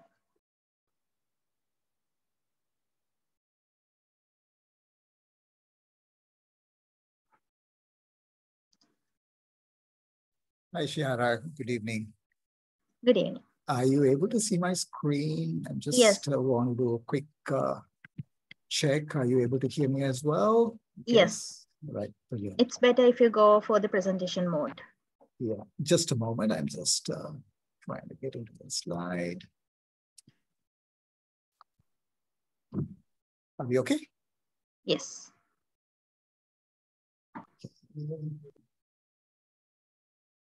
Good evening, everyone. And it's a pleasure to be here this evening to talk about how to secure your personally identifiable information in the context of the Data Protection Act 9 of 2022. At the outset, I would like to uh, thank the Chamber of Commerce, the Ceylon Chamber of Commerce, the Chamber Academy, and of course, uh, Sanduni, Jayantha, and the team for inviting me to present how to secure your information. So to set the context, I'd like to talk about the breach timeline. Now, if you take Sri Lanka as a country, I mean, uh, we, we don't hear much of uh, breaches unless otherwise you hear it through friends or in an informal way. And even if it does make it to the media, it's, it's uh, very few in numbers. But if you look at this uh, slide, uh, which I have taken from the data breach investigation report of uh, 2018, this actually shows the timelines of a breach. And what you actually see here is only 3% are discovered as quickly, that is, in a few minutes from the time the breach has occurred. And two thirds went undiscovered for months or more. Now, you may ask, has this situation changed? The situation has not changed. Let's look at the IBM's Cost of Data Breach Report 2022.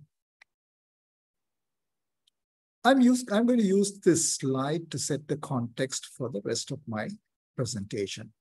So on, on your left, you can see the initial attack vectors, right? And you heard Jayantha Sanduni and uh, the fellow speakers also talking about the incident response plan and about talking about the scenarios, testing, and all those things.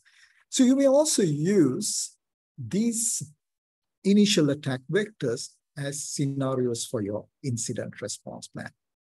So what you actually see here is the mean time to identify so you may also ask, what does this data mean? This data is collected from 17 countries across the world, covering all the continents.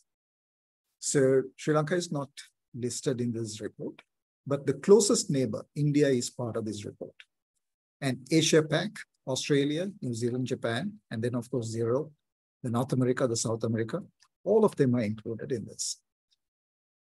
Now, when you look at the timelines, right, it, it, that means it has taken over 200 days, or in some cases, a little over 140 days for people to detect that there has been an incident. And then you also notice that the, once you detect that there's been a breach, the time taken to mitigate it or the contain the breach. So when you look at the complete life cycle, we are talking about over 277 days on an average, right?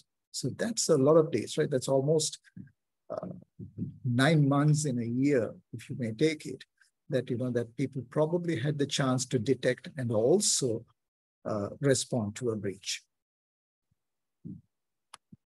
So when you look at this particular slide, here also you can see whether from this number of people who were surveyed, the number of companies which have been surveyed, you can see how many of them had an incident response plan and how many of them regularly tested them. So testing, regular testing is also important. And more importantly, you also need to identify your risk or the breach scenarios and also understand what it would have as an impact on the organization. The last three items on the list, I mean, there, there are several incident scenarios, but I'd like to highlight these three as well. Because your supply chain, today organizations are dependent on a global supply chain for different purposes. It could be for procurement or for even for delivery of services. So your partners with who you trade or you have a business relationship, some of them may even directly connect to your network, or some of them may indirectly connect to your network in the form of an email. So you can actually see the amount of supply chain attacks which have actually happened. And one of the other areas we are talking from a people perspective is the, the qualified teams or the, the security teams, whether they are sufficiently staffed, whether they have the right skills, right expertise, that is also listed here. And we are also seeing in the last two to three years that people are also adopting a zero trust security architecture. So, so what, you, what you're also seeing here is some of them have adopted and some of them have not adopted. And one of the important things you need to remember when you're looking at these numbers, we are exclusively looking at those companies which have been breached. So we do not talk about people who are not being breached. Here are companies which have been identified as had companies which have had a breach, and that's what these numbers are all about. So when you have a breach, it, it triggers a, a variety of actions. Now, now, what you see here in this slide, not an exhaustive list, but a list of actions which has triggered in these organizations, right? Now, one of them, if you look at uh, the slide here, it says uh, you, you, appointment of a CISO, right? Or appointment of a data protection officer, right? So, so there are different roles which you need to create in your organizations. Then, then we're also talking about various other protection technologies. So, so when you look at a holistic picture, a simple breach can trigger several actions. Some of them could be people related, some of them could be technology related, some of them can be process related. So what do we do? Right now, today, we, we have a law which has been enacted, which is going to come into force very soon. Do we wait till then to start our journey or do we start today? My advice to you is start today because it's going to take time. It's, take, it's going to take time for you to set up processes, procedures, get the right people into your organization structure. Then, of course, you need to also invest in the right protection technologies. So how do we do that? Right? So, so when we look at the data protection, I, I look at it in two, two parts. One is the privacy aspect, the other one is the security aspect. So what we heard earlier today is that more in terms of what the Act states in terms of the privacy. But what I'd like to talk about is in terms of what should we be doing to protect our information. So one of the first things we, we should be doing is to identify the right information. Do we know what is the information we collect? Where is it stored? Who has access to it? Right? And uh, you, you heard Sanduni and Jayantha also talk about collect information to the extent you require. Now, we are we are actually jumping into a running train. I may call it that way, right? So so you may have been collecting information in the past. Today, you are at a juncture where you need to assess what have you been collecting, who has been collecting it, where is it being stored, who has access to it, and how is it being, you know, accessed by various people, who is accountable for all these things. So all these assessment has to be taken care of, or you need to start delving into that. And the other thing which you also need to start looking at is the flow of information. How does the information flow into the organization? And how does the information flow out of the organization? So, what are the touch points? What are the touch points in your network? What are the touch points beyond your network? Does the data actually reside in a place or it just you know travels from point A to point B? So we need to understand if it is going to reside in a particular device or a, or a server, how are we protecting it? Or if it is going to be communicated from point A to point B or from person A to person B, is that information going to be sent securely? The third one, which we also need to ask ourselves, is more importantly, the permissions right? Who has uh, access to view that information, who has access to edit that information, or in some cases, who has access to even backup or even delete that information. So you need to come up with a framework to manage your information from the data collection to data destruction. So I call it the data lifecycle management. So you need to have a policy, you need to have a framework which involves people, process, and technology. And then you also need to identify the right tools based on the sensitivity information to classify that information.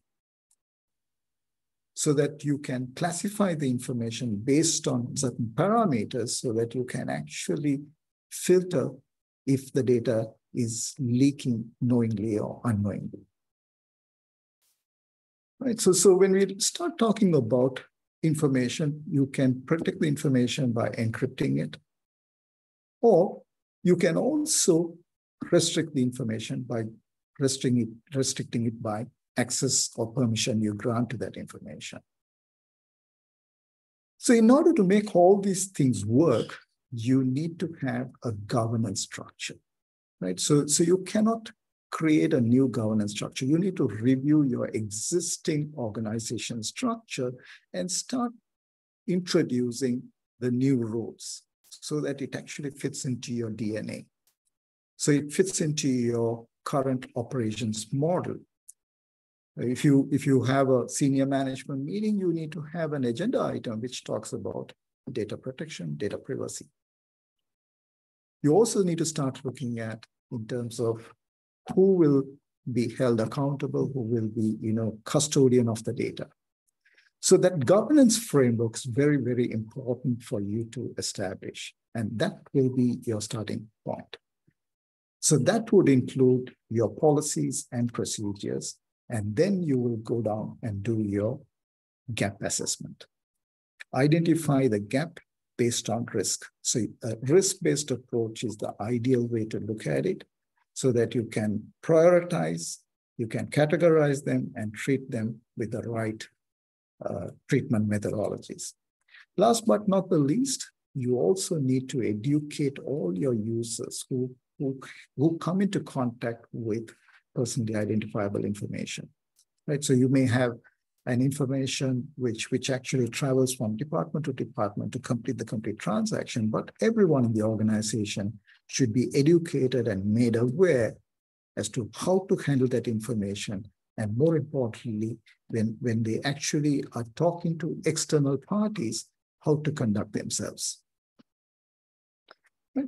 So in order to set up the governance framework or a security management framework, there are standards available, right? And predominantly most of the, most of you probably on this call may, may be aware of ISO standards, right? So there is an ISO standard, which is 27001, which primarily talks about information security. But the ISO standards have also have come up with a standard to protect the privacy of the information, right? So, so they have a privacy information management system, which is 27701. So that's a standard you can also start looking at it, right? So, so if you already have embarked on a journey for ISO 9000, and if you have already looked at certifying yourself with 27001, you can also look at 27701, and you can actually do a combination of all these. So there are different principles. There are about eight principles we are talking about, but I've just jumped directly into principles which actually specific to data protection and security. So when you look at data protection principle, the important one for me is the last line, keeping safe from unauthorized access and destruction.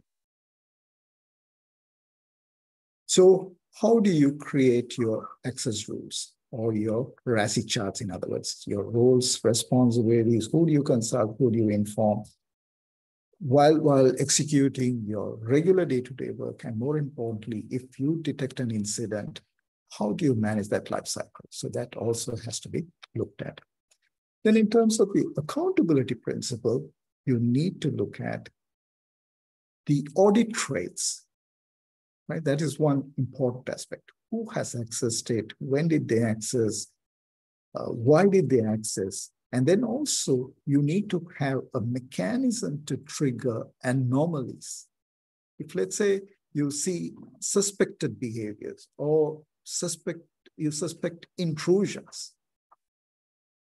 probably it could be pointing to a data breach, right? So, so I also want to talk about a little more on the breach. When we talk about a breach, somebody having unauthorized access to information can be treated as a breach. But a data breach, if the data is stolen and retrieved and you know exfiltrated out of the, the organization, then it is actually very, very serious. So that's what we need to be conscious of. So we should be able to determine what this breach is. Is it somebody just accessed and read the data or have they exfiltrated the data? Right? So, so when you look at the leaks, you, you can also look at it from an external leak or an internal leak. So the data can be leaking to a person who is not authorized to have access to that information. And you also need to create scenarios. What are the different types of scenarios which can actually be treated as a breach scenario or even as an abuse scenario? Because certain things on a regular basis, people may treat it as a regular activity. But are we in a position to determine or preempt and say, hey, in these conditions, this should be considered as a breach? And breach notification is very, very important right, in this whole life cycle because it, it talks about two things, right? As soon as possible and without undue delay. So when you, when you do the investigation, you have a challenge. First to determine, has there been a breach? If yes, what is the extent of the breach? So you should be able to determine these two as quickly as possible. So in order for you to do that, you need to understand or document the data flow. You need to be able to set the baseline process so that you can understand or easily identify anomalies and then determine that there will breach. And more importantly, you should be able to contain that breach as quickly as possible. So The other one which we need to talk about is the access control principle. You would be hearing me talking about this repeatedly, but then there are there are other things which we need to look at, right? In terms of the quality of the data, the accuracy, the completeness. Right? So, so typically we are talking about the integrity of the data. And then the other aspect we need to look at is, okay, is the data available when you need it? How do you ensure availability of the data when the data is required by the person who is requested for that information? So all that aspect has to be taken in the context of access control principle. And the last one is the security safeguard principle. So the, the base principle you need to look at is collect information, what is bare minimum, be clear as to where the information will be stored, and how long you'll be storing it. So that, that clarity you need to have, and that should form part of your data lifecycle management framework. Use encryption technologies wherever possible with the right keys so that you know the information is protected. So if the information is in your database, encrypt your database, right? If your in, in, information is being sent from one location to the other over the internet, then encrypt your whole communication link.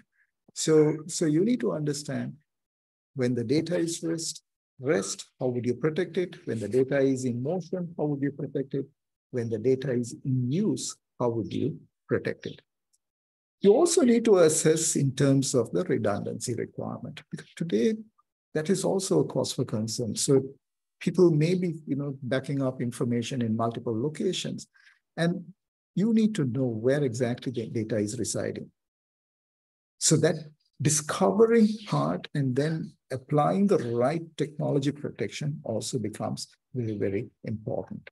And last but not the least, you also need to start looking at your physical security aspect. Because if the data is residing in a particular physical location, you need to um, you need to be sure that you know only authorized people have access into that premises. And then, of course, you also need to start looking at other forms of threats if it is targeting your network, the logical threats, the cyber threats. Do you have a mechanism to trigger any anomalies? So, you know, in my earlier slide, you, I, I did mention that some of the breached organizations had embarked on a zero trust architecture. Now, this is a relatively a new concept for a lot of organizations, but in my mind, it's a very simple, easy to adopt architecture, which all organizations can consider, right? So when you look at your identity, you're basically looking at who are your users. Are you able to identify who they are? Are you able to determine the level of access you're going to grant? Are you in a position to track and see what activities they have performed? And more importantly, how do you authenticate these users? Now, traditionally, people use username and a password. But when, when a password is compromised or stolen or lost, very, very rarely the, the, the person who has lost it would know that they have lost the authentication credentials. So today, people are adopting multi-factor authentications. It's another form of authentication in addition to the password. So you continuously validate, authenticate the identity. So which means even if somebody has gained access to the password, they still will require the second form factor to authenticate themselves to gain access to the networks or even to access the information or the databases. So that's a very important part, right? So, so you can look at the identity as a single pillar and then look at what you need to do to secure the identity. The, the important identity, there are two types of identity I would actually worry about. One is the regular user. The other one is the administrator, the person who administers the infrastructure. Between these two, the administrator would have a wider access capability. He would have more privileges. So if his or her identity is compromised or his password is stolen, which means the attacker would have would be able to gain access to the whole infrastructure, the whole information, and which means it would actually put the organization at a greater risk. So it is important that all identities start using the second form factor, which could be an app-based authentication, it could be an SMS-based authentication, whichever is convenient, get started, right? So that would actually prevent unauthorized access. The second pillar which you need to focus on is the device. The device which is used to access the information or connect and retrieve the information. Through the application to the database or the application, the devices have to be secure. So are the patches updated on a regular basis, operating system patches, security patches? Are the devices secured with a good antivirus? Today we are talking about EDR, XDRs. So, so are we looking at all, all forms of hardening of your endpoints? That's your device, right? It could even be looking at the reputation of your DNS. So these aspects together, right? The, the identity and uh, the device together is required to connect to a network and information. So while, while you focus on the identity and the device, on the other hand, you also need to start looking at protecting your information. So identify the information, identify where it is located, and look at classifying, labeling, and classifying that information. That is one step you need to do in terms of protecting the information. The second step is in terms of look at the access rights. Which identity, which device can connect and retrieve that information, or which device and identity can connect to an application and connect to a database. So before they connect to the network, there should be some form, right? So when we talk about a network, it can be a physical network in your office, or it could be a cloud infrastructure. So before these devices and the identities connect, identity has to be authenticated Every time they connect, they need to get authenticated, and the device also should get authenticated. And then do a sanity check, right? a health check to see whether the device meets your organization's pre-required or pre predefined security controls. Your device has to be clean, not infected, not jailbroken.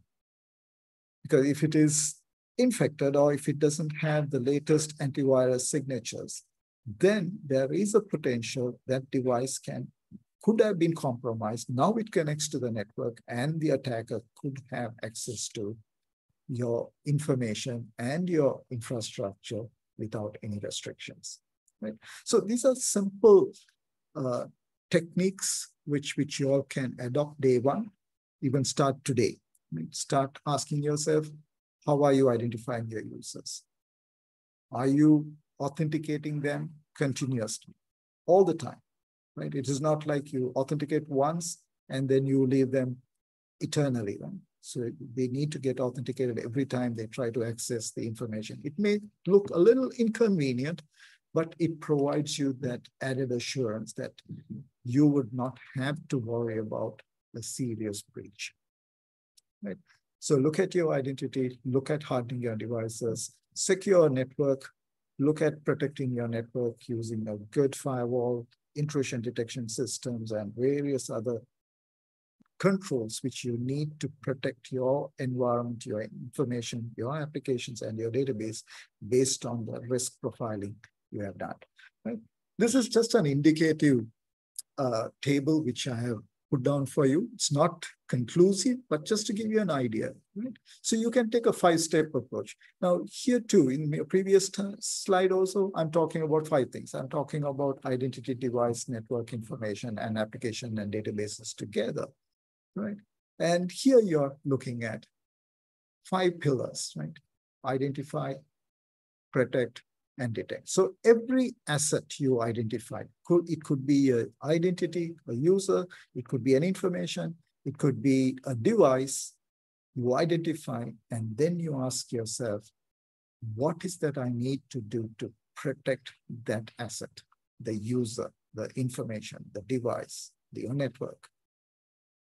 Then once you put in your preventive control, also ask, okay, what is, how do I know that my control which I have implemented works as intended?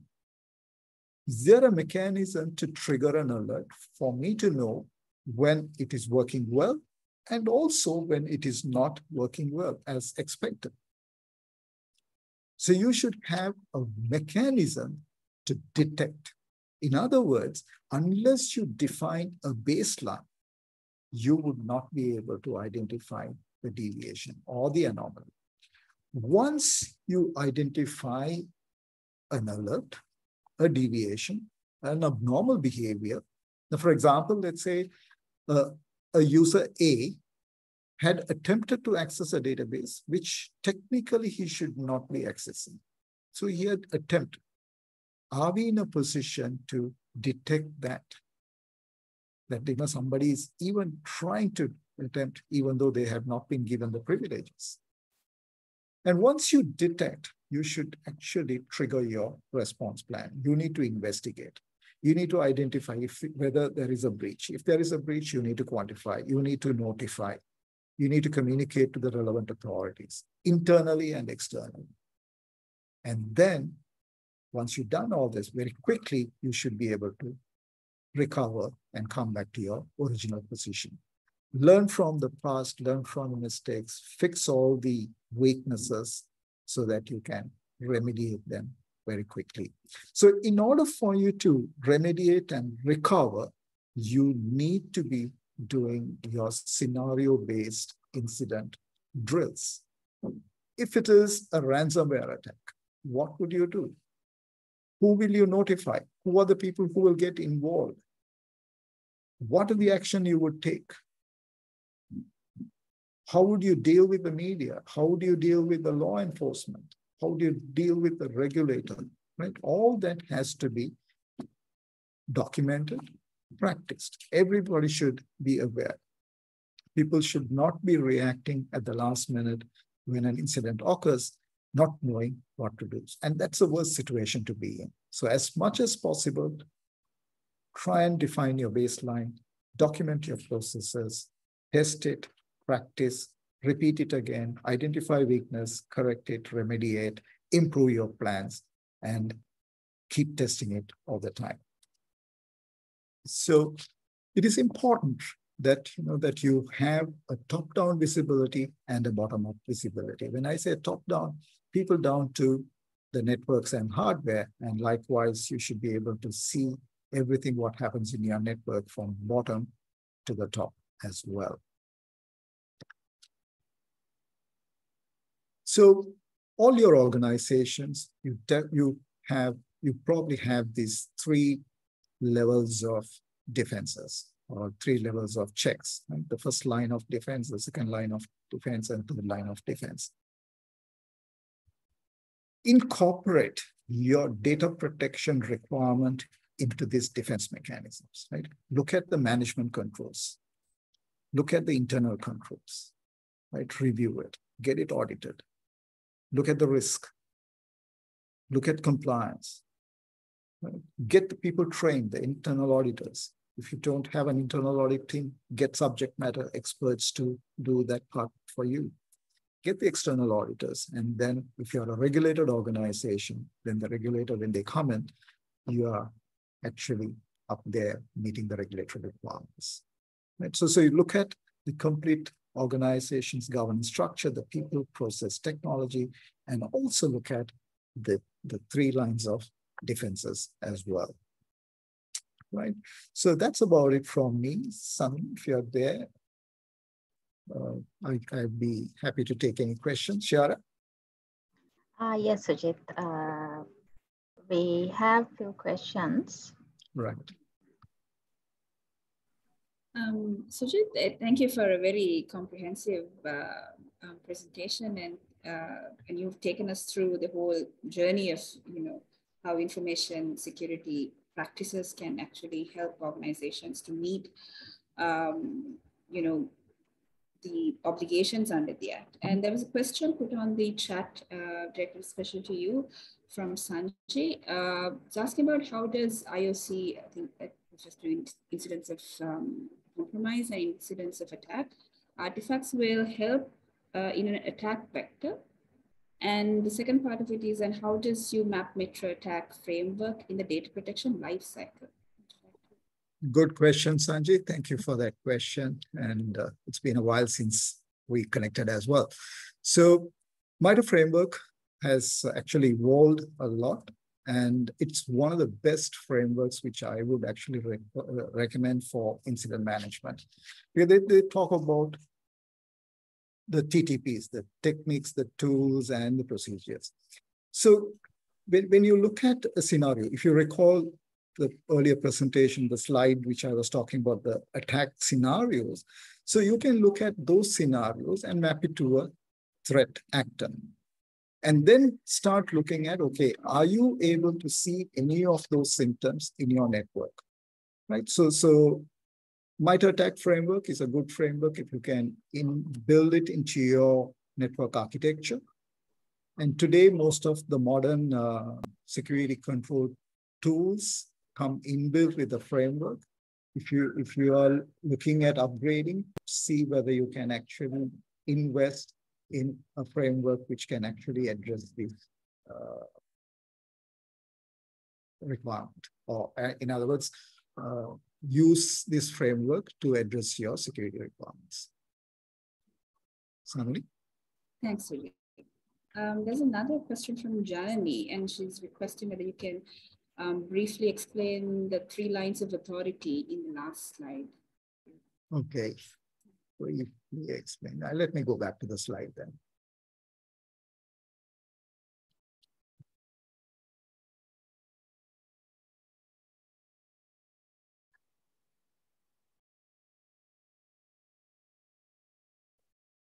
All right. So the first line of defense is identify. Now, for, if I were to take an example, right? Let's say you you have a set of PII identified uh, information residing in a particular database or accessed in a specific application. So when you look at your management controls, you're looking at your policies. So what are your policies? Your data privacy policies, your access control policies, and various other security policies which come into play. The, the second set is the internal controls. So what are your internal controls? So how do you protect your information which is residing in the database using preventive controls? And then of course the detective controls. So preventive controls can be to straight away, you know, prevent uh, attacker, you know, compromising your information or you know, uh, uh, causing destruction to your information. So you may look at encrypting your database, right? So that's a preventive control. You may also look at access control. That is also a preventive control. Then you're looking at a detective control. Are you in a position to look at your audit rate, your audit logs? So you generate your alerts, you review them. The second line of defense here, I would actually focus on cybersecurity, risk management, and then of course compliance. So each of them are a different pillar, right? So all of them have a role to play. So when, when the risk management team gets involved, you're actually assessing the risk in the context of that information which needs to be protected, right? To be compliant to the regulator's requirement as well. The cybersecurity team would actually look at how do you protect that information by implementing technical controls and technical preventive controls and technical detective controls as well. The compliance team would actually start looking at what are those requirements which needs to be in place to ensure compliance to the legal requirement or the regulator's requirement. So when you have the, the compliance team with respect to data protection, the cybersecurity team working hand in hand with the compliance team and the data protection team, identifying the risk and mitigating those risks using the right appropriate controls, the second line of defense comes into play. The third line of defense is to give assurance to the management that the controls implemented are working well and are adequate. So that's the role of the internal auditors. Right? They continuously assess the effectiveness of the control and give assurance to the management. The external auditors would also use the work of the internal auditors and probably expand a little bit or if they have a specific scope defined, then they would work on it and also assess again whether your management controls and your internal controls are working as intended. So I hope that clarifies your question. Uh, thanks, Sujit. I think that was very explanatory. Um, I think we have time for just one more, and this is a question that actually my own questions, uh, because generally um, companies, I mean, data protection is not new to most companies. Some are already uh, conversant in their information security practices. So would you say that compliance with uh, standards such as ISO 27001 uh, or uh, 27701 guarantee uh, compliance under the PDPA? Or is there something more controllers are expected to do in order to? Right. So, so I would say, I would want to, you know, use a different word instead of guarantee. Right? I, I don't think we can have guarantee that, you know, there will no, there'll be no breach. Mm -hmm. But what it would help a framework such as a standard like 27001 or 27701 would help put in place a, a framework which is suitable, more suited for your organization. So you can customize it to fit into your environment to meet your regulatory requirement. So the standard also specifies certain do's for you and certain don'ts. So that is also an aid for you so that you can adopt it and which is easier for you to implement. So you are actually guided through a structured process like a plan, do, check, act, it helps you to assess continuously and improve your processes. So what does it mean to a regulator or to a third party? When you adopt a standard, it defines, it indicates to them that you have a structured process to manage your data protection right? It is not ad hoc, right? So you have a systematic process that in itself will give a lot of assurance to the people who are going to work with the organization that the organization is adhering to the best practices. So because when you adopt a standard such as 27001 or 27701, it is also audited by an external entity, or the certification body. So when they audit and review your processes, they would also give a certificate at the end of the day saying that, you know, these are areas where you're doing well, these are areas there's potential scope for improvement. And in the process, that also indicates to a customer of yours who is engaged with you that, you know, that you, you have reliable processes which can be dependent upon. Because it also talks about the, the preventive controls, the detective controls, and the remediation process, including incident management and the responses or the business continuity plans. So, so the whole gamut of things are covered in a very structured, straightforward manner. Sami? Thanks, Sujit. I think that clears, clears the air uh, to a great extent. And unfortunately, that's all the time I'm told we have. Um, uh, for, for your session. Actually, there are more questions coming in, and I would really like to uh, invite Sujit to, uh, if you don't mind, uh, responding yeah. to the questions on chat. Sure, I will do that. the next session. Yes. Okay, uh, thank you, Sujit, for sharing uh, valuable insights on importance of information security standards and practices. Uh, next, uh, I would like to invite Sanduni uh, Wickramasinghe to do the uh, session on managing workplace privacy under the uh, Personal Data Protection Act. Sanduni, over to you. Um, thanks, Shehara. And uh, in the next 20 minutes, I'll briefly take you through uh, about how the Personal Data Protection Act um, uh, interacts with workplace privacy. So this will basically look at how employers, even though they may not uh, process customer information per se, uh, there is still certain level of uh, obligation casted on them as controllers uh, because they uh, process employee data, how uh, you can um, manage the compliance expectations under the Act.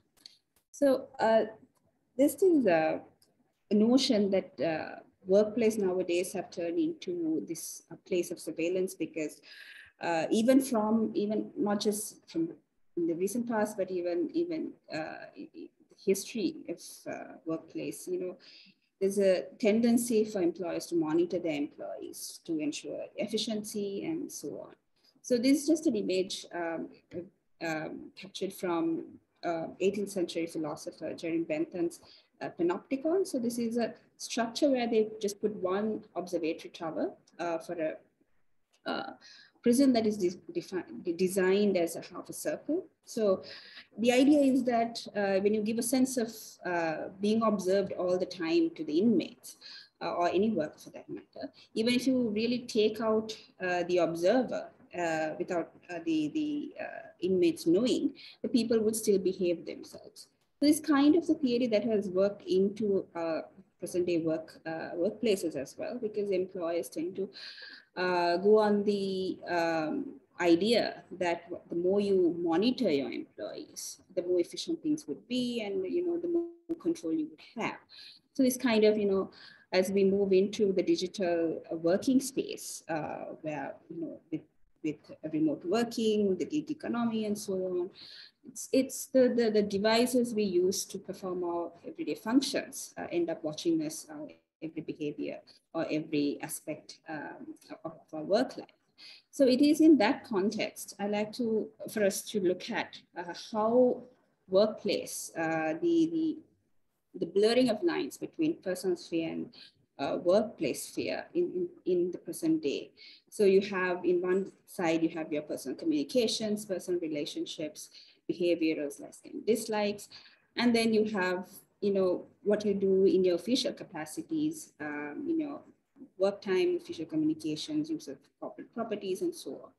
And then there are there's a middle uh, position where things blur a lot, uh, where you can't really distinguish what is personal and what is workplace. Such when you allow people to bring their own devices or work from home or work from anywhere.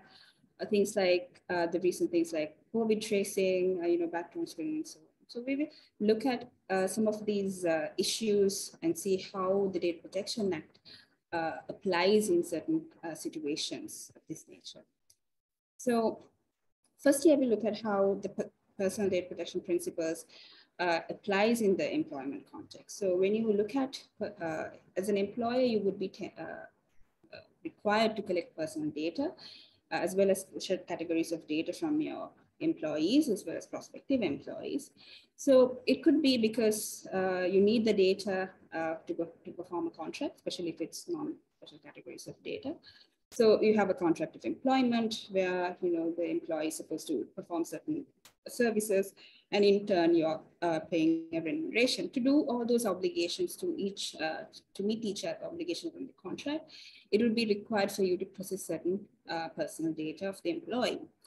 It could also be that there's a legal obligation for you, uh, such as requirements and employment laws, to request certain data from your employees, such as, you know, we have this practice of obtaining fingerprints or EPF or ETF um, related uh, matters and uh, paying, you know, uh, employee taxes and payment of taxes and so on. And another ground where which you can which can legitimize your uh, processing of personal uh, of personal data of employees is any legitimate interest that you might pursue. So legitimate interest is defined in the act itself. So some of them include things like prevention of fraud, um, ensuring information on network security. Um, and uh, so it's, it, there could be certain in incidents where you want to protect the, the data of your customers or your proprietary uh, matters from breach or from being leaked outside. So there could be certain legitimate interest uh, that you may pursue that could be uh, defined under Schedule 1 of the Act.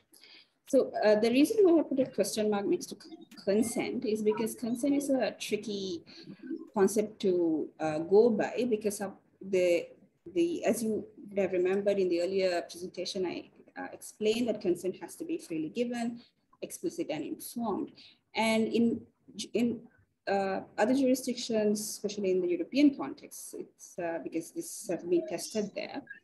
Uh, one of the issues with relying on consent is because they've often found that there is no um, similar uh, position or there is no, the consent cannot be deemed to be freely given in the, in the context of employment. So if you, it's not that you cannot rely on consent. There could be limited uh, circumstances uh, which would allow you to rely on consent, but consent should not be treated as the only ground uh, to uh, legitimize processing personal data of employees in an employment.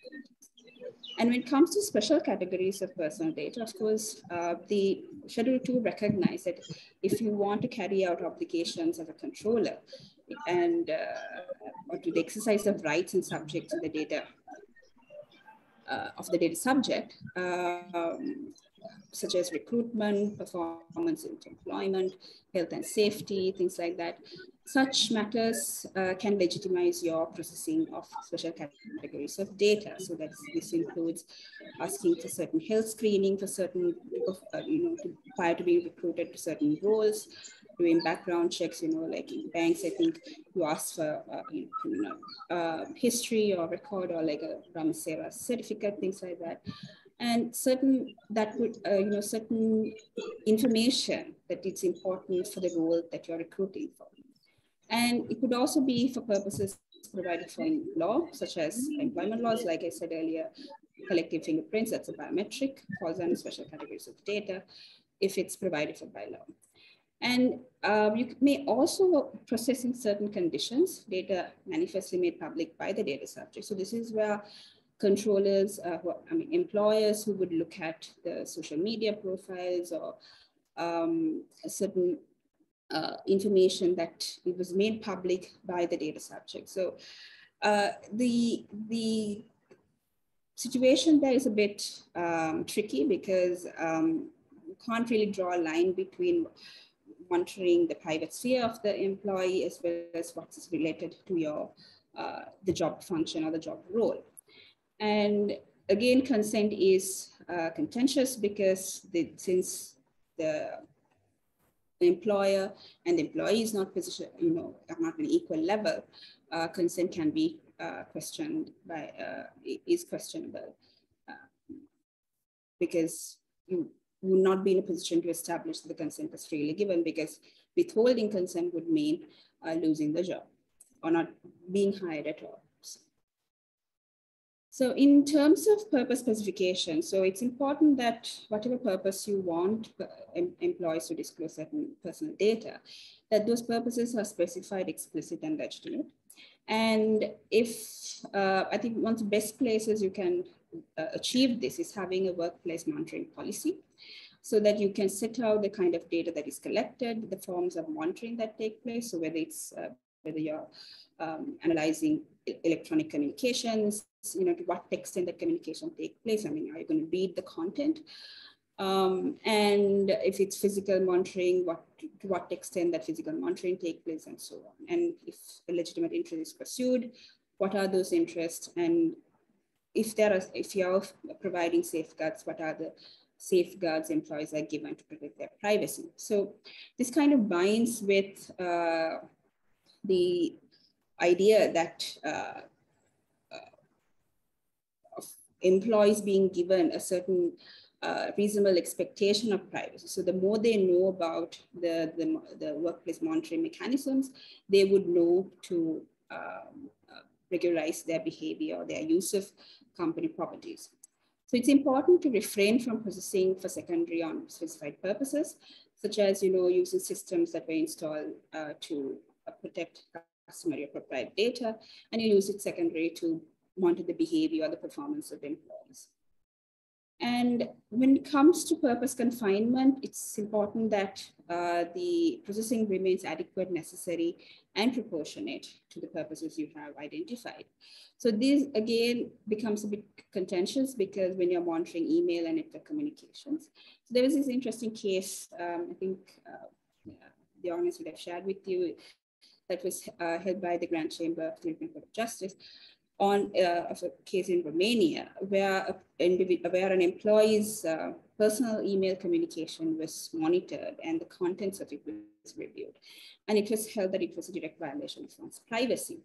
So um, the question was that the though the employee was informed not to use the company devices for uh, personal uses, and uh, the the, the argument of the court was that the, the employee was not uh, specifically informed to the extent of that monitoring activity. So it's important that whatever measure you take, it should be necessary, uh, adequate, and proportional. So proportionality plays a huge function, especially in the context of uh, workplace privacy. And this also takes up in situation when you when employers allow employees to bring their own devices to work. So sometimes devices are not just used exclusively for work purposes. Uh, so employer may end up monitoring the, the communications or locations or behavior of the employee even outside of working hours, uh, like on weekends or locations at, at, a given time. So it's important that you really look at uh, what are the safeguards or limitations you would place to uh, minimize the collection, the amount of data that you collect in situations like that. And uh, same goes for location tracking, uh, biometrics. Um, so, and importance of having how these uh, kind of intrusive mechanisms can have an impact on uh, situations where an employee wishes to raise a complaint anonymously or like in whistleblower uh, policies, how to um, harmonize uh, these the, the, legitimate interest of an employer to make sure that its, its, its proprietary uh, data remains safe whilst ensuring uh, the privacy of the employees also intact.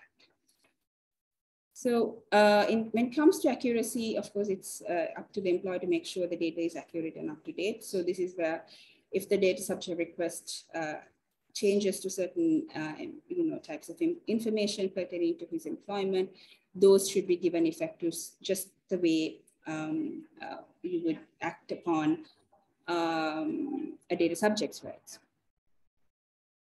And in terms of retention, um, so data should be retained only for uh, such period that is necessary to achieve the purposes you have identified. So in scenarios like job applicants, so we, I, uh, I've often seen that whenever you, when in Sri Lanka, when you apply for a job, generally HR tends to keep these applications for a longer period of time. And even though some of those applications uh, have not been successful in securing a position uh, for the job advertised, the general um, justification here is that you know there could be um, you know, roles that come up later on, which might fit this person's profile.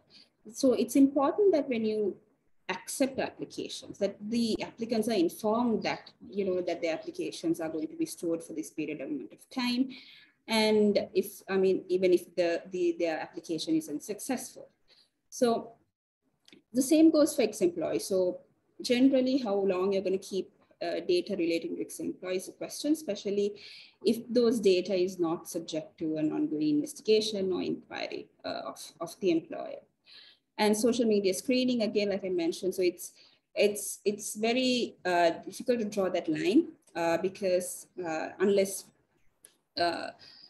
you know the the employee or the, applicant is informed, you know, the employee would be looking at their social media profiles, uh, you know, to gain an understanding about how much they fit for a particular role. And coming to the question uh, or the element of integrity and confidentiality, it's important as a uh, employer or as a controller that you maintain um, so security of the personal data by uh, deploying suitable technical and organizational measures. And you need to provide adequate security for special categories of data, especially if you're processing biometrics such as, you know, uh, fingerprints access, uh, you know, managing access or things like that. And we must also make sure that uh, the employee data is not accessible to everyone within the organization. So this includes uh, data generated from monitoring uh, mechanisms. And if you are disclosing third parties, it's important that you follow, especially for government uh, agencies or any other third party.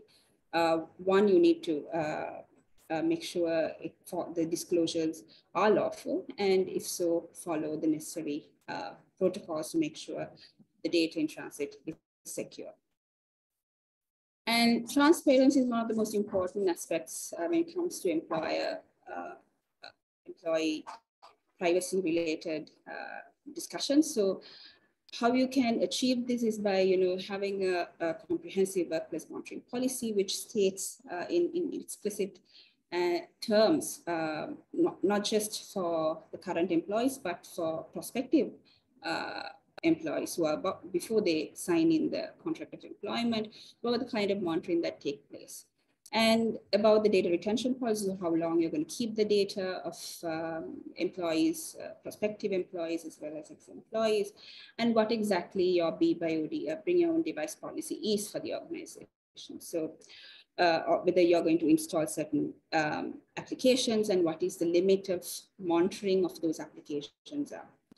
And it's important as a, as a best practice to have engagement of your employees um, and consult them when you're formulating these policies. And it's important that these policies are off periodically reviewed um, and evaluated. And also the employees are provided adequate training and awareness about the kind of data processing that uh, you as a, a control undertake in the workplace context. And finally, when it comes to accountability, uh, it's uh, just as you would devise one for your customers, it's important that you have one uh, that is aimed at work, uh, you know, looking at workplace privacy.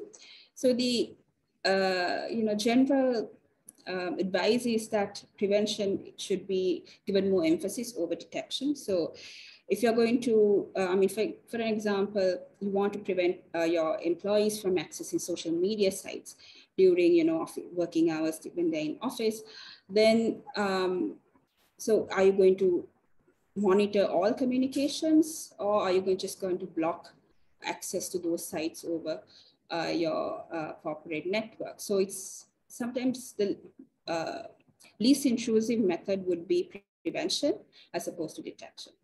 And any monitoring or surveillance uh, mechanism must be designed proportionate to the structure, the scale, volume, and sensitivity of the data concerned and the aims pursued.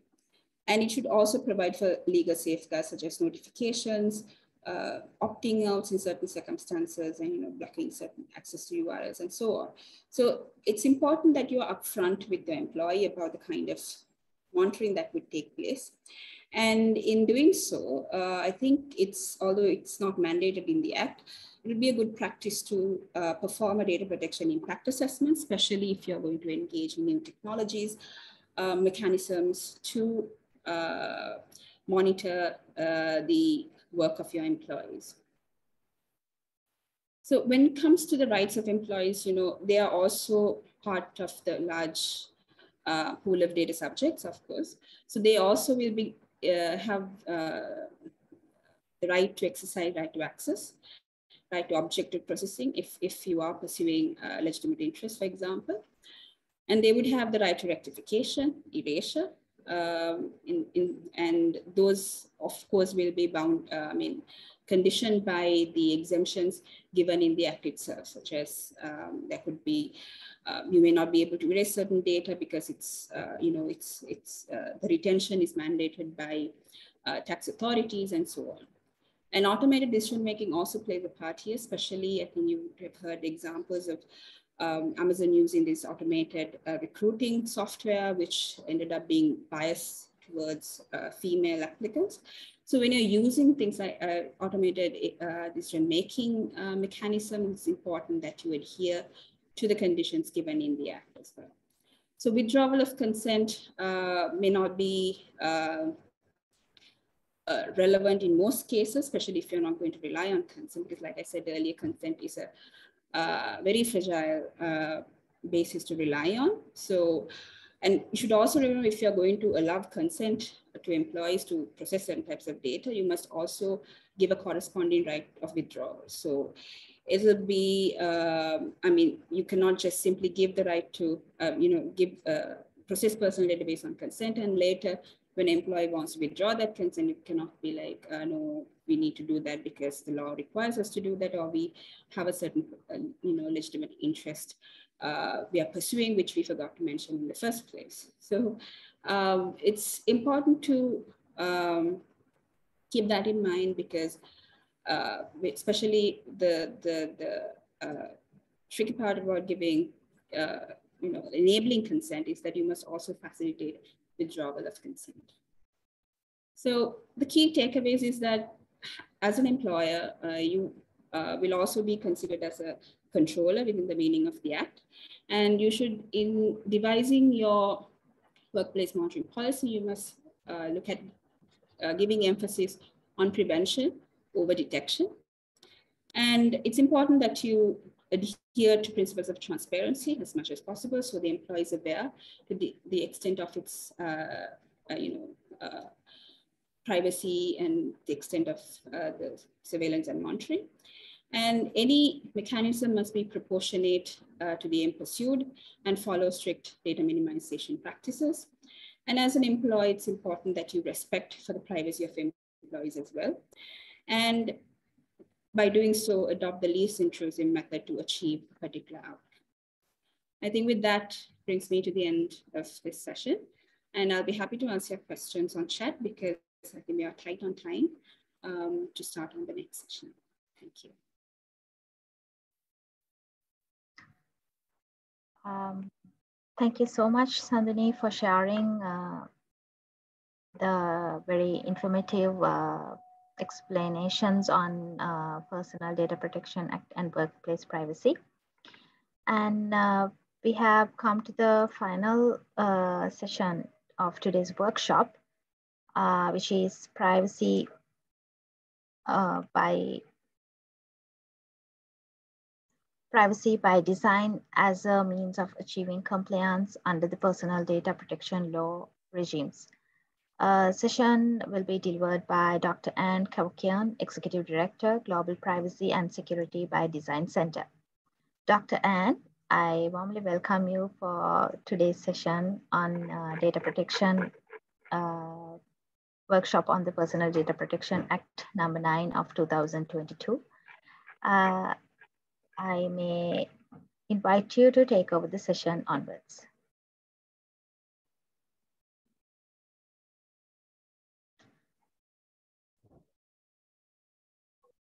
Dr. Ann, you're on mute. Sorry, um, I was going to say, do you have my slides? If you can put my slides up, and yes. then I'll ask you yes. to advance them. Will do. Can Perfect. you see the slides now? I can. Thank you very much. So we'll go to the next slide, please. Okay.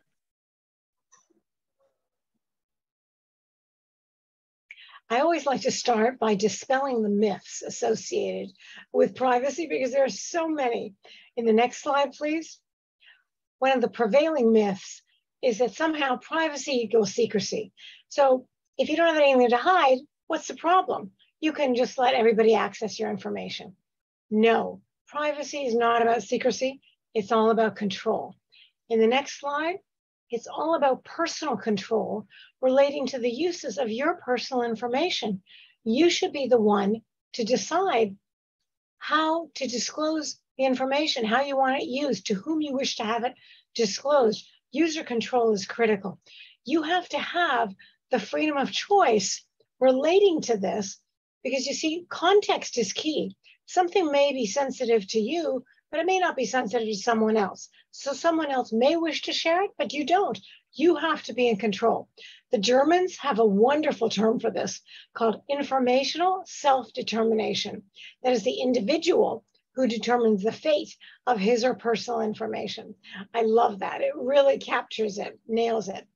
In the next slide, I also like to, like to talk about why privacy is essential to freedom. It forms the foundation of our freedom. It's a necessary condition for societal prosperity and well-being. I was talking about all the innovation, the wild, crazy ideas, creativity, resultant prosperity of society. All of this requires freedom. You know, I think of Steve Jobs and the wild ideas he said had, and he used to say, I couldn't do all this, you know, in terms of Apple, if, if I couldn't just throw out crazy ideas and then get rid of half of them. Privacy is the essence of freedom because without privacy, individual human rights, property rights, civil liberties, these are the conceptual engines of innovation and creativity. None of this would exist in any kind of meaningful manner. Surveillance is the exact opposite. It's the antithesis of privacy. One of the negative consequences of surveillance is it usurps your limited cognitive bandwidth away from innovation and creativity. If you think someone is listening, it makes you go inward. And all of a sudden, creativity goes out the door. In the next slide, please. I created Privacy by Design many years ago uh, when I was first appointed Privacy Commissioner of Ontario, Canada. And you see, when I joined the commission, it was full of brilliant lawyers, of course, who applied the law beautifully. But you see, my background, I'm a psychologist. I study psychology in the law. I wanted a different approach. I wanted to prevent the privacy harms from arising. I wanted a model of proactive protection of data so that ideally you wouldn't have the data breaches and privacy infractions. And we had great success with this. It took me a while, I have to tell you, to convince the lawyers and the commission that this was worth including, not replacing the laws, of course not, but complementing it so that ideally it could reduce how much the law had to address. And as I said, we've had great luck with this. Next slide, please. In, I think it was 2010, Yes, so commissioners have a privacy and data protection conference once a year. It's usually in uh, Europe. In 2010, it was in Jerusalem. And at the end of a three or four day session, we have a closed session where commissioners vote on various things. And I submitted um, privacy by design as something that I wanted people to vote on in terms of um, ensuring that privacy will be embedded into new technologies and business practices right from the outset proactively. And to my surprise, this was unanimously passed. And I was really surprised because, as I said, most privacy commissioners are brilliant lawyers, lawyers. And I was amazed at this. So afterwards, I went around talking to everyone and I thanked them very much for voting in favor of this. And I expressed my surprise. And they said, Ann, it shouldn't surprise you. Next slide, please. They said, right now, all we as commissioners are reaching with privacy laws is the tip of the iceberg. Most privacy breaches are remaining largely undetected. And we're just getting the little bit at the top that's visible to us. They said the majority of the privacy breaches are remaining unregulated, unchallenged, unknown. And that, of course, was unacceptable to all the commissioners. Regulatory compliance was no longer enough. And they said it's unsustainable as the sole model for ensuring the future of privacy. So they said that's why we want to complement privacy laws with your creation of privacy by design. And I was just delighted to hear this, as you can imagine. And as I mentioned, we've had great luck with this. It's been, it's now being followed in 165 countries all around the world. And the next slide, please. And it's been translated into 40 languages. Now, if you have a language that doesn't appear here that you could translate privacy by design, uh, come and talk to me. I would love that because I would love for this to grow. And, you know, it's so wonderful that most of the new privacy laws now are including privacy by design. So, of course, the GDPR from 2018, uh, Brazil just passed a new law last year. The United States is considering a, a massive new federal law, and that includes privacy by design. So I'm very excited. Okay, the next slide, the two essentials to privacy by design. You want to prevent the privacy harms from arising, so you want to be proactive. But the other one is we have to get rid of the zero sum model. What do I mean by that? Next slide, please. Zero sum means it's one or the other, either or, win, lose. It's privacy versus security or privacy versus data utility. And it's never privacy that wins over those other interests, nor should it be. But I sure as heck am not going to have it lose out to all those other interests. It's ridiculous. It doesn't have to be that way. In the next slide, please.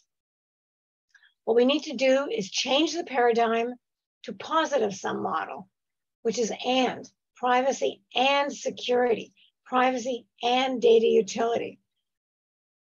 It's as simple and as difficult as changing the paradigm from a zero sum to a positive sum to create a win-win scenario, not either or, involving unnecessary trade-offs and false dichotomies.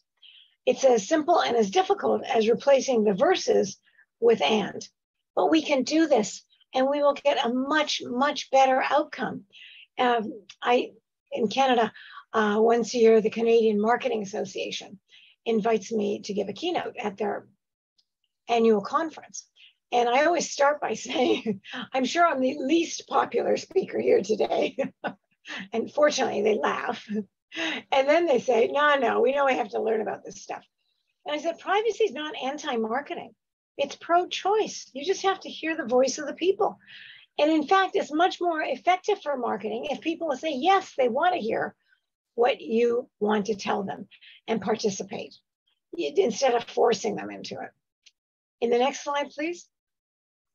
Um, there are, just in case you might say, what is privacy by design? So it has seven foundational principles. I've been through most of it. I'm going to go through this very quickly. You want to prevent the harms from arising. Let me speak for a moment about privacy as the default setting, because this is huge. And this is also included in the GDPR, privacy as the default. What it means is you say your customers or your citizens, you don't have to ask for privacy. We don't expect you to wade through all the terms of service and all the legalese and the privacy policy to find the opt out box that says, do not use my personal information for any purpose other than the purpose that I consented to, the primary purpose of the data collection. No, no, we don't expect you to do that. It takes way too long. What we do is we give you privacy automatically. It's the default setting. We will only use your personal information for the primary purpose of the data collection that you consented to. After that, if there's a secondary use that arises, we have to come back to you and seek your consent again. People love this. This builds trust like no other. It is just, people love it. Uh, companies that have gotten certified for privacy by design have come back and told me this builds trust like it's crazy, unbelievable. Okay, embedded in design speaks for itself. If you bake it into the code, it's always there. You can't forget about privacy. I've already talked to you about full functionality. I prefer positive sum always. Get rid of zero sum, either or, win lose. And so yesterday. Substitute win win plus positive sign. Now, let me talk about security for a moment. While the term privacy subsumes a much broader set of protections than security alone, in this day and age of daily hacking and phishing, if you don't have a solid foundation of security from end to end with full lifecycle protection, you're not going to have any privacy.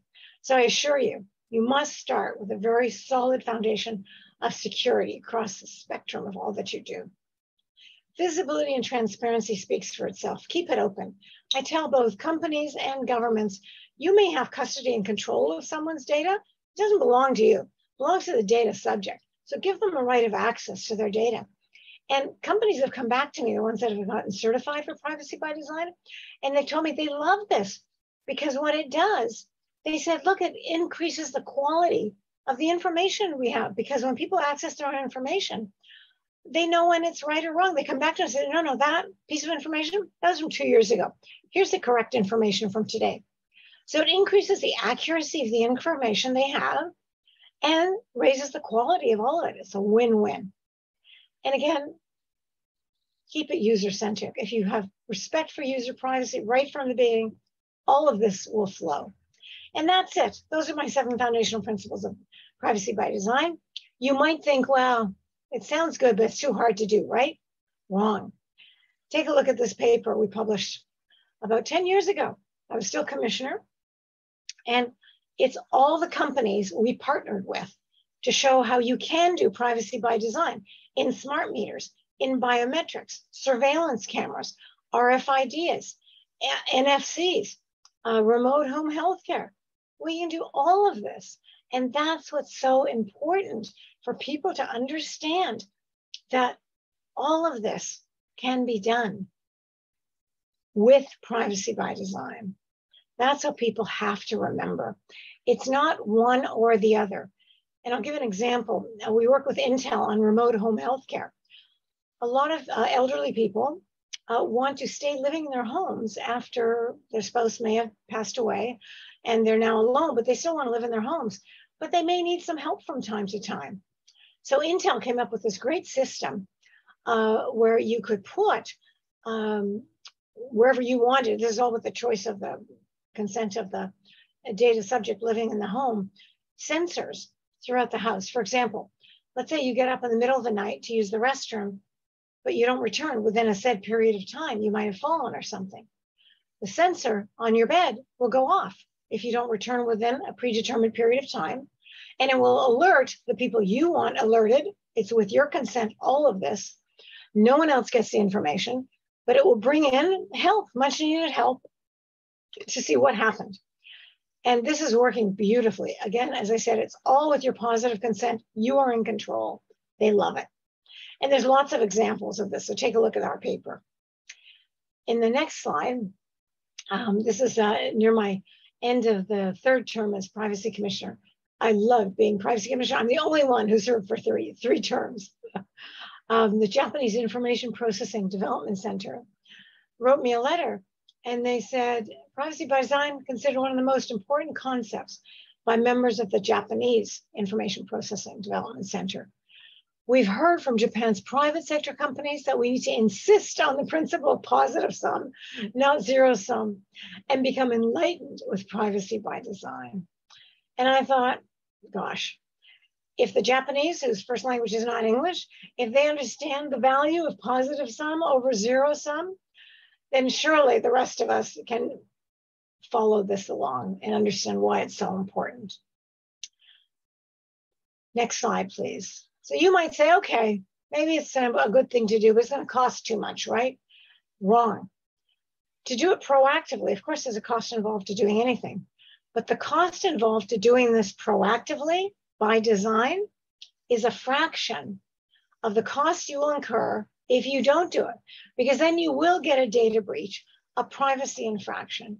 And these days, they're not just lawsuits that are incurred, they're class action lawsuits that cost millions of dollars.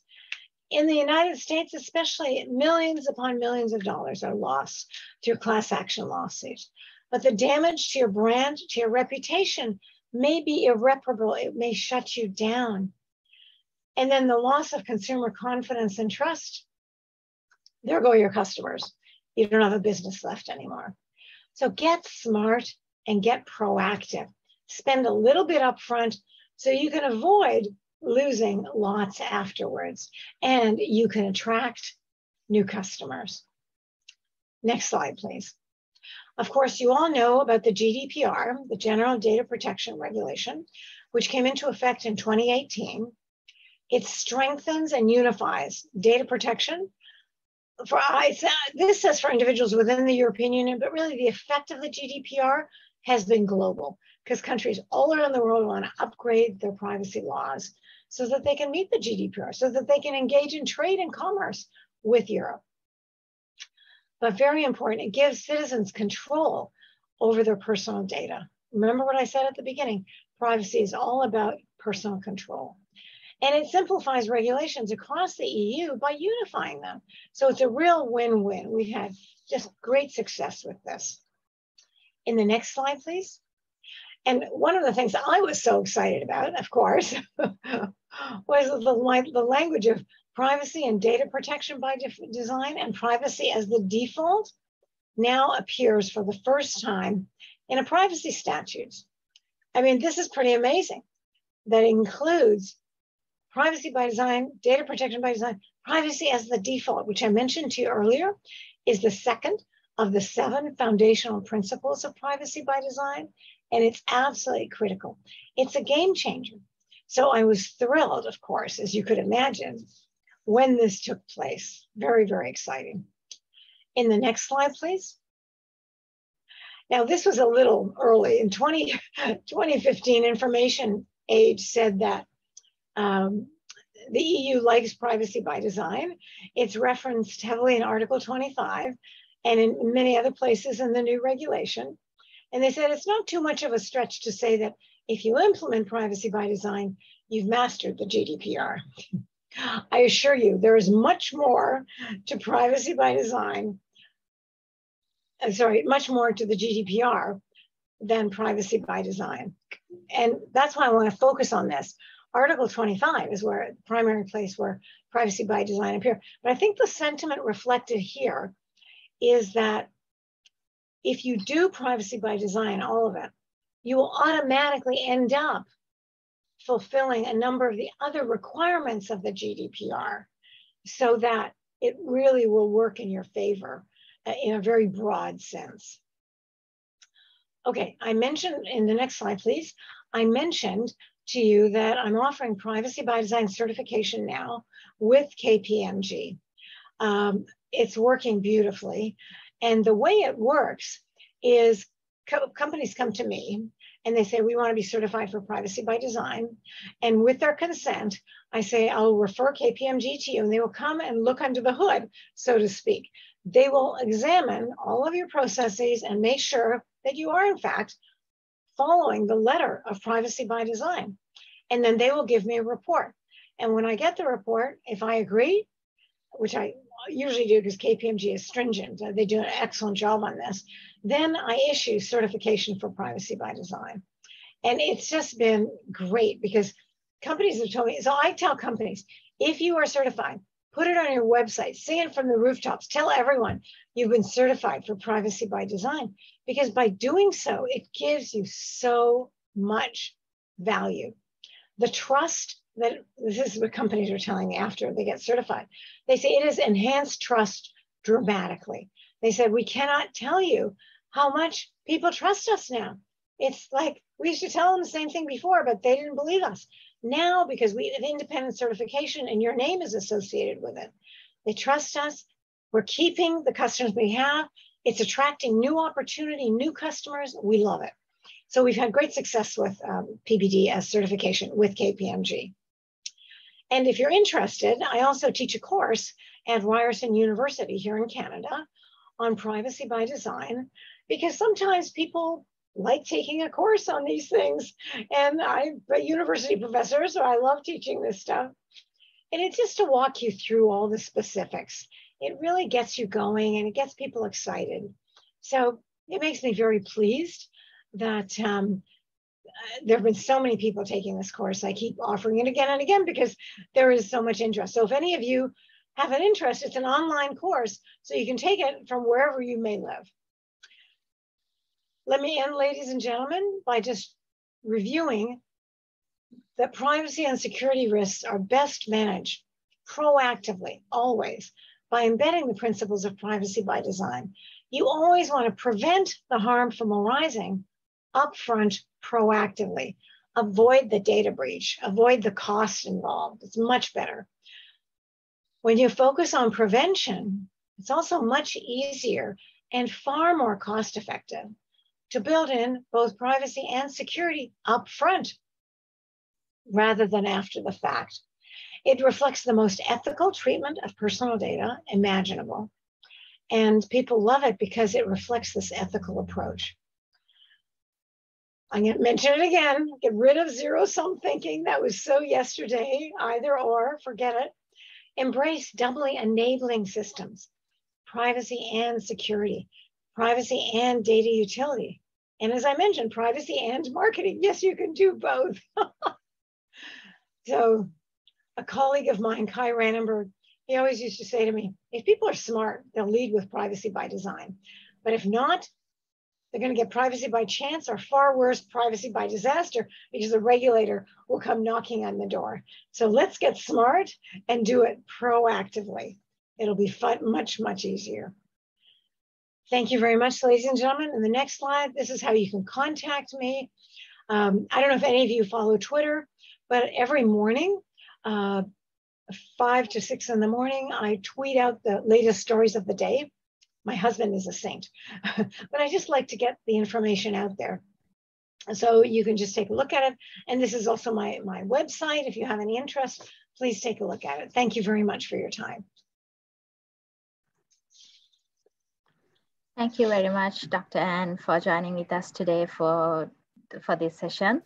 And thank you so much again for sharing the uh, very uh, good insights on the concept of pri privacy by design as a tool for compliance under the personal data protection law.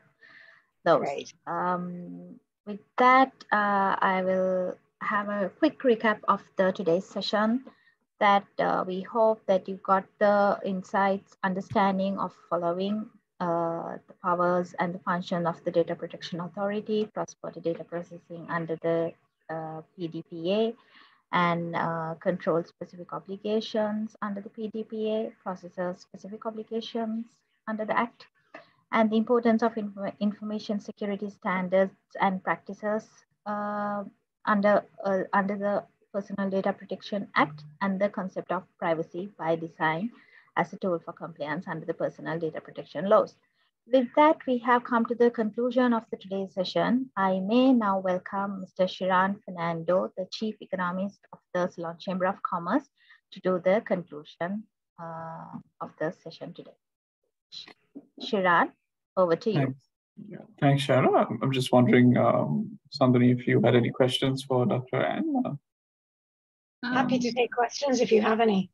Yeah, I think, uh, do we have time for it? Sure. We have a few minutes. So. Okay, yes, great. we do have. Um, so again, thank you, Dr. Ann, for joining us all the way from Toronto. And we we have a few questions um, actually uh, because I mean, of course, the GDPR does specify privacy by design, and uh, uh, privacy by default, but uh, under the Personal Data Protection Act in uh, Sri Lanka does not explicitly contain those terms. So in such context, why would a controller or processor feel compelled or, you know, uh, be inspired to follow these principles at all?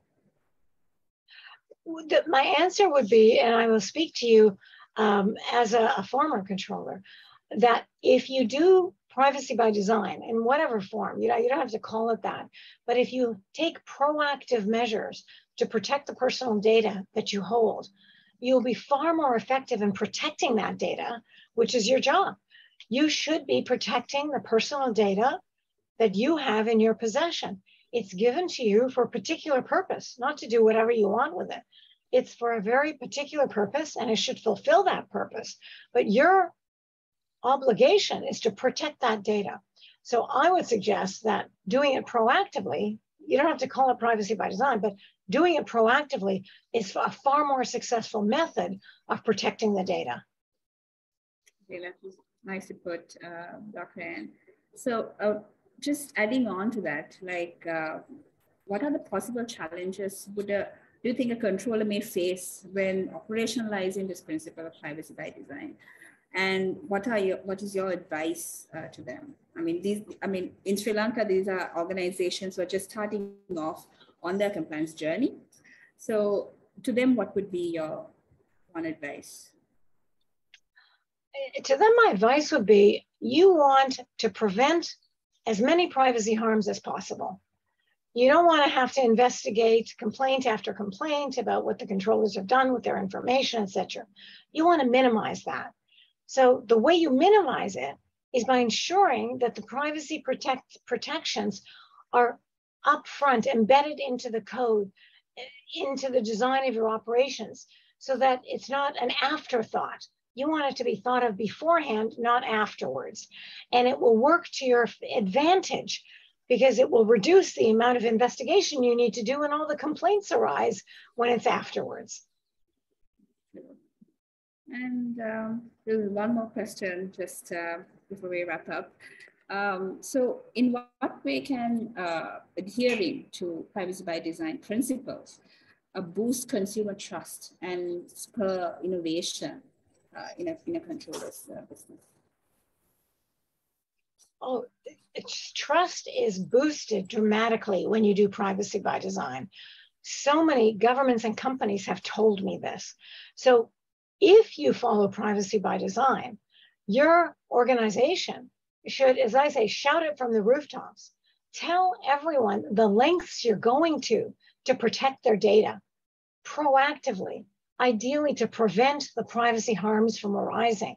You spread the word on this and you tell them how much you respect their privacy. And that's why you're going to such lengths to protect their data. They will love you for it and you will gain incredibly. I'm sure they will. Um, thank you, Dr. Ann. I think that's the questions uh, from my end. Um, over to you, Shiran. Thanks, Sanduni. I, I don't know if you saw that one last question on data protection management program. Uh, I haven't seen anything. Sorry, I think I missed it. Okay, so question is data protection management. Would the data protection management program address the concept of privacy by design? So the data protection management program is something that is mandated in the uh, Sri Lankan Data Protection Act uh, on, under the principle of accountability. And uh, so it basically talks about uh, formulating your internal mechanism, governance structure, the governance internal oversight mechanisms uh, to meet the obligations under the act. So um, I think what you could do is weave it into that. Obviously, it doesn't spell out privacy by design, but it's it's implied. So I would weave it in to enhance accountability and protection of the data in the best possible way and making it a win-win. You can do this. And I think, I think your citizens and customers will be very grateful to you for doing that. Thank you, Dr. Ann. I think that's all we have uh, the chat. Right. Yeah. Thank you very much. It's been a pleasure. Thank you. Uh, thank you, Dr. Ann, and thank you, uh, Sanduni. So uh, I think uh, we're right on time in terms of schedule. And, and thank you to all the speakers as well. Um, uh, we had uh, uh, Jonathan Fernando, we had uh, Sanduni, uh, who had multiple presentations and, and moderations as well, uh, leading this uh, workshop and by the, through the design of it as well as in the delivery. Thank you very much for your efforts on it. we had Shenuka from Dialog joining in, part of the uh, drafting committee uh, as well, and uh, Sujit Christy as well. Thank you so much for your session just after the break, and of course, Dr. Ann. I think that was a great session to wrap up the workshop and, and ending on a good note as well. Uh, thank, thank you. you. to all the participants. I think we had over 300 at, at the beginning, uh, and, and, I'm sure a lot of you would have asked for the recording and some of the material. We will uh, be hosting it on our Chamber Academy YouTube page, and we'll share the link and all the material as well. Uh, we'd appreciate if you can give feedback, uh, maybe if you'd like, uh, since we're, as, as uh, Aliki mentioned at the start, we're looking to do a series uh, more sector-wise as well. This was the first general overview of it. And if uh, you would like your sector to be considered or some feedback as to some information you'd, you'd really like, uh, we're hoping to do very curated sessions um, in the next few uh, months uh, for each of these sectors. So that'll be uh, useful feedback for us to hear as well. Um, and um, I think a lot of the output from this session also we'll be, be hoping to carry out in terms of articles and, and um, uh, visibility to kind of provide these insights to a wider audience beyond those of you who attended this as well. Uh, so thank you to everyone uh, who, who joined in and participated uh, and for the interactive Q&A that we had on the chat box as well. Um, and, and look forward to uh, meeting you in, in a future workshop and, and webinar. Thank you so much. Thank you. you. Bye-bye. Good night.